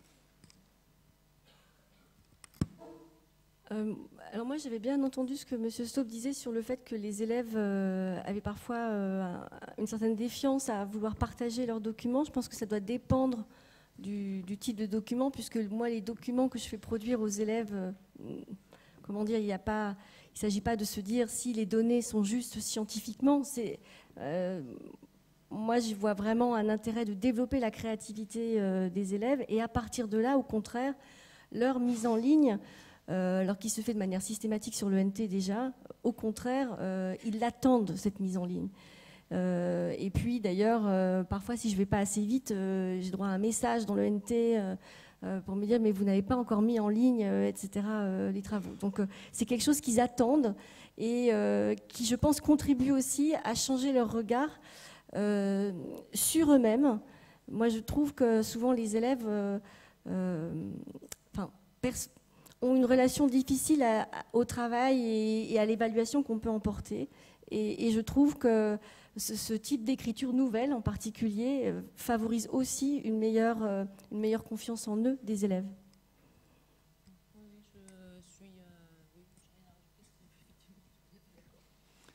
Est-ce que euh, les élèves demandent à ce que d'autres disciplines, d'autres enseignants fassent comme ils font avec vous? En lettres ou euh, de, façon adaptée. C'est-à-dire qu'ils voient une introduction plus grande de ces outils euh, nomades dans toutes les autres disciplines qui les concernent. Alors pour le cas euh, du, collège Madès France, on, est, on est enfin voilà, on a fait, enfin, je crois qu'on a été le premier dans l'Académie de Lille. Enfin, on est préfigurateur de, l'entrée du numérique. Donc, ça fait trois ans déjà qu'on expérimente des outils nomades. Et c'est vrai qu'on avait commencé au départ par une classe, on va dire expérimentale de cinquième, avec une équipe d'enseignants volontaires. Et l'idée, c'était vraiment de réfléchir à, nos pratiques et à faire travailler les élèves autrement et aussi nous travailler autrement, donc dans plusieurs disciplines. Et c'est vrai que pour revenir sur ce, que, sur ce que tu disais, sur le fait qu'on a besoin de former les élèves, nous on se rend bien compte que tous ces élèves qu'on a fait baigner dans des pratiques nouvelles, euh, dans, de, nombreuses disciplines, sont devenus sincèrement très très à l'aise avec tout un tas d'outils. Et là finalement, le, frein technologique cède le pas à la créativité euh, qu'ils peuvent avoir et à leur expression. Alors c'est vrai que parfois, euh, j'ai des élèves qui me disent, ah oui, mais on aimerait bien... En français, moi j'aime beaucoup les faire écrire avec tous ces outils et, parfois certains que je retrouve après me disent on, aimerait bien pouvoir le faire encore. Euh, mais ça se diffuse petit à petit en lettres peut-être un petit peu moins vite. Voilà. Pour rebondir ce que, sur ce que tu disais, là, le sentiment que j'ai eu, enfin, à les voir faire avec ces outils, je trouve que ça a fédéré chez eux aussi cette envie d'expliquer à l'autre. Euh, tu sais faire ça, toi euh, Comment tu fais? Et souvent, alors au début, ils viennent me voir. Euh, Madame, comment je dois faire ça? Puis quand j'ai repéré un élève qui sait faire quelque chose, ben, je lui dis, bah, écoute, alors ça c'est valable pour l'outil numérique comme pour le, fond de ma discipline hein, en, SVT. Hein. Mais je, je, trouve que ça a été très intéressant parce que ça a été un moteur supplémentaire pour aller demander aux autres et collaborer avec les autres. Toi, tu sais faire ça, tu me montres, et ils, ils viennent moins me solliciter. Alors je surveille mais euh, je, trouve que ça aussi, c'est très, euh, c'est très intéressant de, les voir fonctionner euh, maintenant comme ça. Je voudrais ajouter que je, trouve hein, que ça peut amener aussi à un autre type de relation. Si les élèves perçoivent aussi que chez l'enseignant, je pense qu'il y a une forme d'ouverture et un intérêt pour, pour ces nouvelles modalités d'expression, c'est que des élèves arrivent, moi ça fait plus, plusieurs années maintenant j'ai le cas, arrivent en me proposant des, des, projets auxquels je n'avais pas pensé. Euh, le travail que je vous ai présenté là sur cette écriture en mouvement, euh, c'est sincèrement des élèves, enfin, il y a deux élèves qui se sont lancés au départ là-dedans et qui ont montré aux autres comment on pouvait faire. Spontanément, ils l'ont, ils l'ont fait. Et c'est des élèves qui, sincèrement, étaient très en difficulté. Et ça a totalement, d'une part, renversé leur positionnement dans la classe. Et je dirais que l'initiative, elle est partie d'eux. Moi, honnêtement, c'est après, je leur ai dit, même d'ailleurs, comment avez-vous fait? Euh, donc, euh, et, de même que ce montage vidéo que je n'ai pas pu vous montrer à la fin, là encore, ce sont des élèves qui sont venus me voir en me disant Et est-ce que vous accepteriez qu'on fasse ce projet-là? Donc je pense que ça renverse, enfin, c'est intéressant de voir que ça, ça crée d'autres dynamiques aussi euh, dans le positionnement entre l'élève et l'enseignant. Je vais vous poser une dernière question euh, étant donné que vous étiez dans, des configurations différentes, est-ce que l'une et l'autre, vous voyez des, choses à améliorer pour euh, gagner encore en plus en, en, engagement des élèves, en efficacité dans ce que vous avez euh, réalisé, tant au niveau des dispositifs de vos établissements que, dans des, choses au préalable à voir avec les élèves? Vous avez parlé d'une familiarisation nécessaire tout à l'heure aux, aux, outils parce qu'ils n'y étaient pas familiers. Il a fallu sans doute que vous passiez du temps un petit peu pour que cela soit préalable pour gagner en, ensuite en autonomie sur le travail qui est demandé. Mais là, je dirais, ça vous est ouvert. Qu'est-ce qu'on pourrait améliorer? Alors, euh, moi, si je pouvais, euh, j'aimerais améliorer la disposition de nos salles de classe. Euh, là, je suis en train de passer mon temps à bouger les chaises, à les mettre en îlot, etc. Parce que euh, les faire travailler en îlot, en groupe, euh, ça se fait aussi en classe entière. Euh, je, vous allez me dire, oui, mais vous, vous êtes en lycée, c'est facile. Moi, c'est pas si facile que ça avec une classe de seconde. Là, je l'ai bien dit tout à l'heure. Et, je crois qu'on est Enfin, je veux dire, dans mon lycée, par exemple, on, on- on est plutôt en SVT à mettre euh, les tables pour les devoirs. Vous savez, les devoirs, il faut, je comprends, effectivement, il ne faut pas tricher en devoirs. euh, mais Enfin bon, euh, pour l'instant, on a une salle de classe avec euh, les, les tables en randonnion séparées, etc. Ça nous fait une classe de moins, effectivement, pour pouvoir travailler euh, différemment. Enfin, voilà. Enfin, moi, je suis contrainte, effectivement, à ce genre de, de problème, je dirais, matériel, matériel pardon. Et par exemple, en, en ce qui concerne l'utilisation des euh, outils numériques, mais là, je parle aussi de l'ordinateur, hein, pas uniquement des tablettes. Euh, quand je vois des salles de classe, enfin la salle où je travaille, que je demande assez souvent parce que j'ai du matériel, euh, bah, on a tous les ordis effectivement qui sont euh, en rang euh, le, long et, ça ne favorise pas non plus, je trouve, le travail en collaboration. Alors moi, si, si, je, si je devais changer quelque chose, mais je changerais effectivement la disposition de nos salles de classe. Alors après, ça c'est mon avis, je ne suis, pas sûre que... Mais encore une fois, je ne suis pas en train de vous dire que c'est, il faut uniquement appliquer ce modèle-là. Je, crois que ce qui est important, c'est de varier nos pratiques euh, pédagogiques. Parce que ça, parce qu'on ne peut pas toujours faire euh, des projets, on ne peut pas toujours utiliser euh, le smartphone, etc. Mais je, crois que varier nos, pratiques, euh, ça peut être qu'un un plus.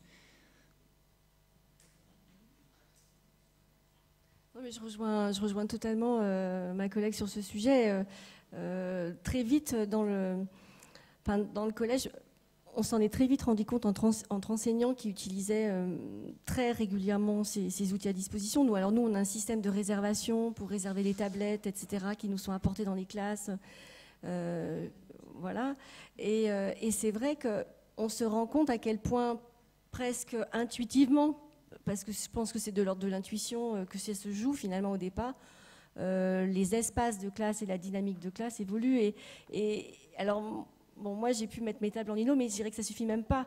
Euh, il faudrait que je il faudrait effectivement pouvoir avoir des salles plus larges, plus grandes, et pouvoir faire différents types d'îlots. On s'en rend bien compte dès qu'on travaille euh, de manière différente et en collaboration, à quel point tous les mouvements euh, s'accentuent et combien on aurait besoin. Mais je crois que les nouveaux établissements, hein, les établissements récents repensent les espaces, et je crois que c'est lié aussi à l'utilisation de ces outils numériques. Mais je ne voudrais pas non plus que ça devienne un frein euh, et que euh, euh, on se dise il faut forcément ça, ça, ça et ça pour s'y mettre.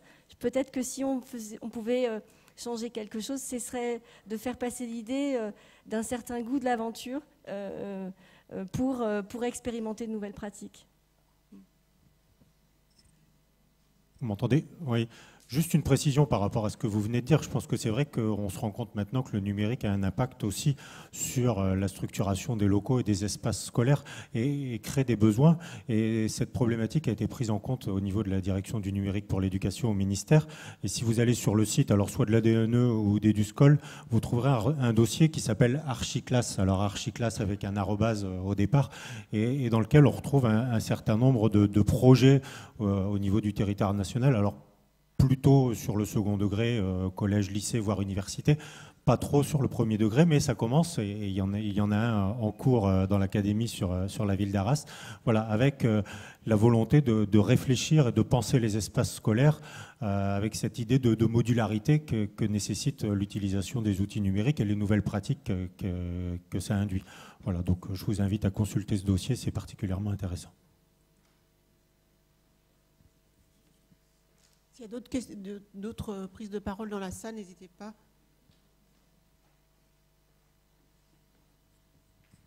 Juste une remarque pour, pour compléter euh, ce qui est dit, c'est que ça questionne effectivement euh, la manière dont on agence la classe euh, avec toutes ces modalités, mais ça questionne bien au-delà, même dans le temps, hein, puisqu'on se questionne de plus en plus sur une heure de classe, c'est trop court. Enfin, euh, avec enfin, toutes les questions de faisabilité, hein, parce que euh, c'est pas aussi simple, parce que les bâtiments, on les changera pas, en tous les cas pas dans notre établissement. Euh, mais voilà, ces, pratiques questionnent beaucoup de choses. Encore, une fois, je, rejoins Carole en disant qu'il ne faut pas que ce soit un frein, parce que malgré tout, il y a quand même des espaces. Nous, on se rend compte que dans l'établissement, je suis à Pierre Mendès France, donc avec Carole de plus en plus de cours se passent au 3C, parce qu'on est passé du CDI au 3C, parce que le, justement, le, le, 3C est un espace qui est très modulable, où on peut faire plein de choses. Et on a aussi d'autres projets euh, de classe là, enfin d'autres choses, où on essaie de, trouver des solutions à l'interne pour pouvoir euh, aller plus loin dans, ces démarches-là. Mais ça va bien au-delà de, de l'architecture.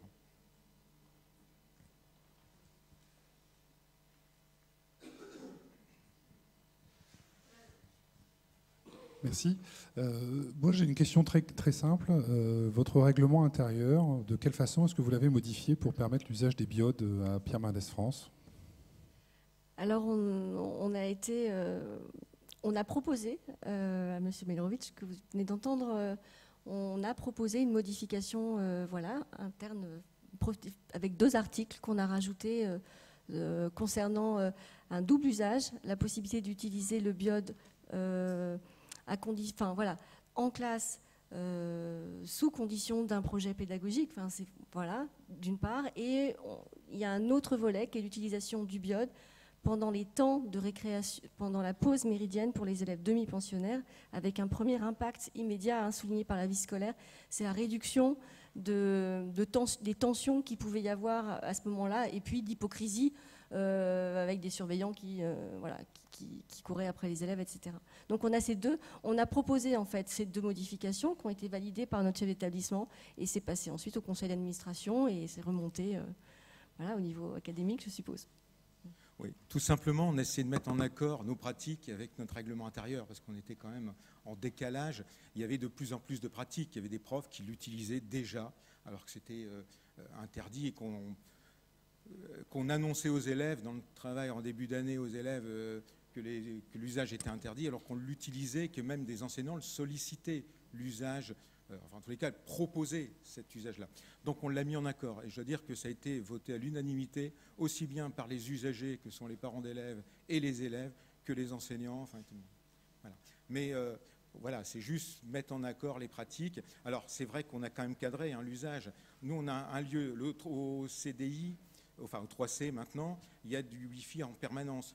Parce que les élèves, justement, pour respecter euh, le, euh, comment euh, l'égalité d'accès aux outils numériques, on s'est dit il ne faut pas que les élèves utilisent leurs data pendant les cours. Donc on, met à la disposition des élèves du Wi-Fi. On a du Wi-Fi en permanence au centre de documentation.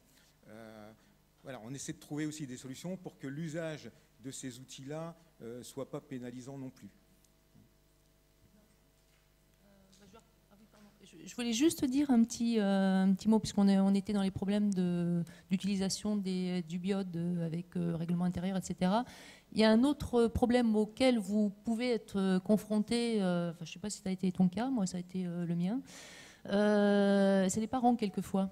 Je pense qu'il faut quand même euh, prendre, euh, prendre conscience aussi. J'avais des élèves qui sont venus me voir en début d'année. Madame, moi j'ai pas de portable. Je dis bah, écoute, c'est pas grave, on utilisera les portables de tes camarades. Enfin, moi ça me posait pas de soucis. Euh, mais j'ai dit surtout, tu dis pas à tes parents que ta prof de SVT t'a demandé d'acheter un portable pour faire du biode en classe, parce que là, ça va pas du tout. Alors c'est vrai, c'est pour ça que je vous dis, si je, si je, si je reconduis ce projet, si je reconduis ce projet l'année prochaine, euh, je, pense que je, prendrai un certain nombre de, de garde-fous en quelque sorte. Je, je crois qu'il faut quand même y faire attention aussi, mais par rapport aux parents. J'ai eu un autre exemple avec, je parlais du compte Twitter, là où on a essayé de mettre en place avec euh, ma collègue en Autriche. Euh, un conseil de classe. À la fin du conseil de classe, bon, je suis prof principale de la classe, donc euh, ça va, je fais passer quand même des choses.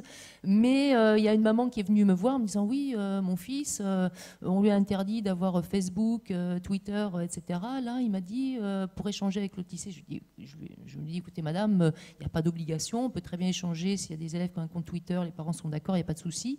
Mais là aussi, c'est pareil. Je pense qu'il faut prendre aussi en compte, parce que j'avais vraiment l'impression d'aller à l'encontre de euh, l'éducation euh, des parents euh, par rapport à ce qu'ils faisaient avec ce qu'ils voulaient faire avec le- le- leurs enfants. Alors, je, préfère vous prévenir, hein, si vous vous lancez dans ce genre de projet, il faut prendre un certain nombre de, effectivement, de garde-fous, je dirais. Voilà.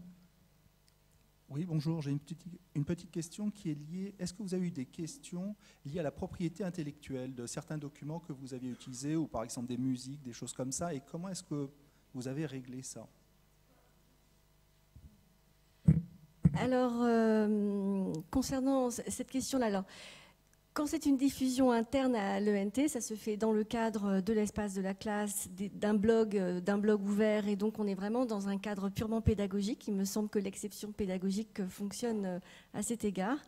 Et je reconnais que certains des travaux que je vous ai présentés ont été diffusés sur Eduscol, et dans ce cas, ben, les élèves ont rempli une demande officielle d'autorisation voilà, pour euh, mettre à disposition euh, leurs documents en respectant donc leurs droits d'auteur. Mais dans le cadre de l'ENT, on est vraiment dans le cadre d'une diffusion d'ordre pédagogique. Et euh, dans, ce, cas, il, il me semble que l'exception pédagogique fonctionne. Et aucun élève ne s'est plaint, bien au contraire. Je vous dis, ils attendent les publications.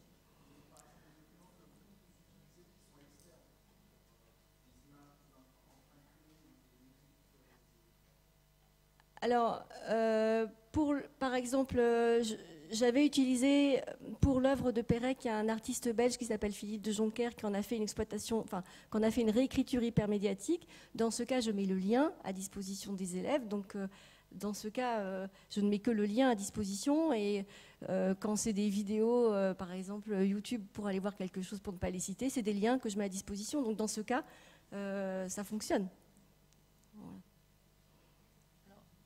Je, pense que si on devait euh, faire encore une éducation numérique, là, je, crois que c'est Jérôme, tu, me semble que c'est toi qui en as parlé euh, à propos des licences euh, Creative Commons. Je, crois qu'effectivement, on peut en rentrer dans une. quand on parle d'éducation numérique, ça en fait partie aussi. Qu'est-ce que je peux publier Sous quelle licence Euh, Quand je retrouve. euh, mais moi, ça me pose des problèmes aussi quand je vais chercher de l'information sur Internet. C'est que parfois, je ne sais pas, parce qu'il n'y a, a pas le, petit logo, licence, etc. Ou euh, parfois, quand c'est droit, avec droit d'auteur, bon là, ok, c'est clair. Mais je, je- trouve quand même que dans les nombreuses publications qu'il y a sur le net, c'est pas franchement toujours. Enfin, je sais pas ce que vous en pensez, mais c'est pas toujours très clair. Donc, je pense qu'avec les élèves, les, photos que les élèves prennent, moi, j'aimerais aussi leur apprendre maintenant à dire, ben voilà, vous avez fait une photo, on va le publier sur le net, mais on va mettre euh, licence Creative Commons, euh, droit d'utilisation, mais sans utilisation commerciale, euh, sans. moi, je- et ça fait partie de l'éducation numérique. Voilà. Mais c'est une vraie question, hein, et j'avoue qu'on n'a pas de réponse de l'institution non plus. hein, enfin, pas Oui. encore. Je voulais, je voulais peut-être aussi compléter en disant que les contraintes du privé sont plus contraignantes que l'institution. C'est-à-dire que autant euh, euh, l'exception euh, pédagogique nous permet d'utiliser des morceaux, si on ne dépasse pas plus de 10% ou 15%, je crois, d'une œuvre, autant si vous essayez de le faire et d'héberger ce que vous avez fait sur YouTube, vous allez immédiatement voir vos productions exclues. C'est-à-dire qu'immédiatement, en fait, ils ont des algorithmes qui repèrent que vous êtes en train d'utiliser une partie d'une œuvre qui a déjà été... et, donc, c'est très difficile de faire respecter cette exception pédagogique, euh, même si c'est dans un cadre privé, même si c'est dans un groupe euh, fermé avec des, des élèves. Dès que c'est déposé, même si la vidéo est privée, eh bien, vous allez entrer dans toute une série de discussions. On a eu des enseignants qui se sont mis à essayer d'aller jusqu'au bout et d'essayer de faire respecter justement leurs droits vis-à-vis de YouTube, par exemple. Et euh, ça a quand même été assez compliqué. hein. Oui, alors une, remarque très courte et puis euh, deux petites questions. La remarque très courte, c'est que pour, aller dans le sens de ce que, du débat de tout à l'heure, euh, il me semble, hein, je ne suis pas spécialiste, mais la CNIL sert aussi à. Il y a une déclaration hein, qui est obligatoire euh, à faire en CNIL, donc il y a aussi la possibilité d'interroger ce type d'organisme pour savoir exactement ce qu'on a le droit et pas le droit de faire et diffuser à ce moment-là, et qui est aussi garant du- de la légalité de ce côté-là. Fin de la parenthèse. Euh, deux petites questions. La première, c'est sur, euh, sur, euh, sur Arcachon, non, je plaisante. La première question, c'est effectivement, tu as parlé à un moment donné des, des- différents éléments, des photos, etc. Et tu as cité certains outils est-ce que tu, qui, qui permettent peut-être de rentrer, je ne veux pas anticiper et savoir ce que, ce que vous direz tout à l'heure, sur ces espaces de rendu public. Est-ce que c'est des tableaux de bord qui restent internes à l'établissement ou c'est quelque chose qui sont forcément diffusés? C'est pas forcément euh, diffusé, on n'est pas euh, absolument pas obligé de le diffuser, mais c'est vrai que euh, les travaux des élèves sont publics sur un site parce que ça, nous a paru important que leur production soit visible. Ce sont des productions qu'on a vérifiées donc ils peuvent pas scientifiquement, hein, je veux dire, il n'y a pas d'erreur scientifique. Euh, on a corrigé. Et c'est vrai qu'à partir du moment, enfin moi j'ai vu les élèves, à partir du moment où on a commencé à publier sur euh, leur net, parce que je crois que ça fait partie de leur, euh, un petit peu de leur culture quand même, il y a eu un engouement, enfin, j'ai eu une flopée tout d'un coup de, documents, enfin, de, photos, de films qu'ils m'ont envoyés pour qu'on puisse effectivement travailler dessus. Et j'ai vraiment senti qu'il y avait cette envie aussi de, voilà, moi je suis capable de faire ça. Bon, après ça pose... Et deuxième petite question, c'était très rapide, c'est pour toi. C'était euh, euh, l'idée, là, j'étais très sensible à l'idée, euh, effectivement, espèce, d'espace, Pérec, tout ça, ça, me parle.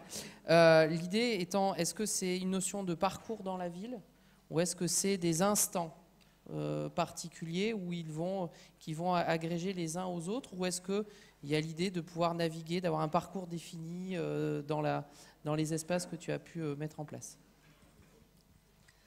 L'idée, elle est bien, de créer un parcours en fait, et euh, euh, vraiment de recréer un parcours qui va prendre, euh, qui va s'enrichir d'une dimension esthétique, poétique, mais on est bien dans un parcours. Mm. Juste une remarque et après je vois que nous bougeons un peu, donc on aura des informations pratiques à vous donner pour conclure cette matinée. Euh, on voit avec vos interventions et vos questionnements qu'il y a euh, plus que euh, le matériel qu'on fait venir à l'école pour l'utiliser. Il y a des questions autour de la famille, des modes éducatifs, ainsi de suite, qui ressurgissent tout simplement à l'aune de, ces questions-là. Donc c'est bien aussi de, les interroger, de, les prévoir en, amont. J'avais juste une, remarque, c'est que en fait les dispositifs qu'on a vu euh, exposés aujourd'hui, ils facilitent ce qu'un un chercheur qui s'appelle, il est à la retraite maintenant, Jean, comment dire, je suis en train de perdre son nom, euh, a, a créé sous, le nom de attracteur d'apprenance. C'est-à-dire que l'on crée à la rencontre de la motivation des élèves des dispositifs pédagogiques et de ce que nous, on met en avant pour faciliter tout cela, en fait, des conditions favorables à leur auto-apprentissage, à leur engagement dans, les activités. Et, euh, c'est- ça qui est relativement intéressant avec le numérique tel que vous l'avez exposé, c'est créer ces conditions favorables à, à cela. Alors, euh, c'est... C'est pas Gérard Bland, c'est pas... euh,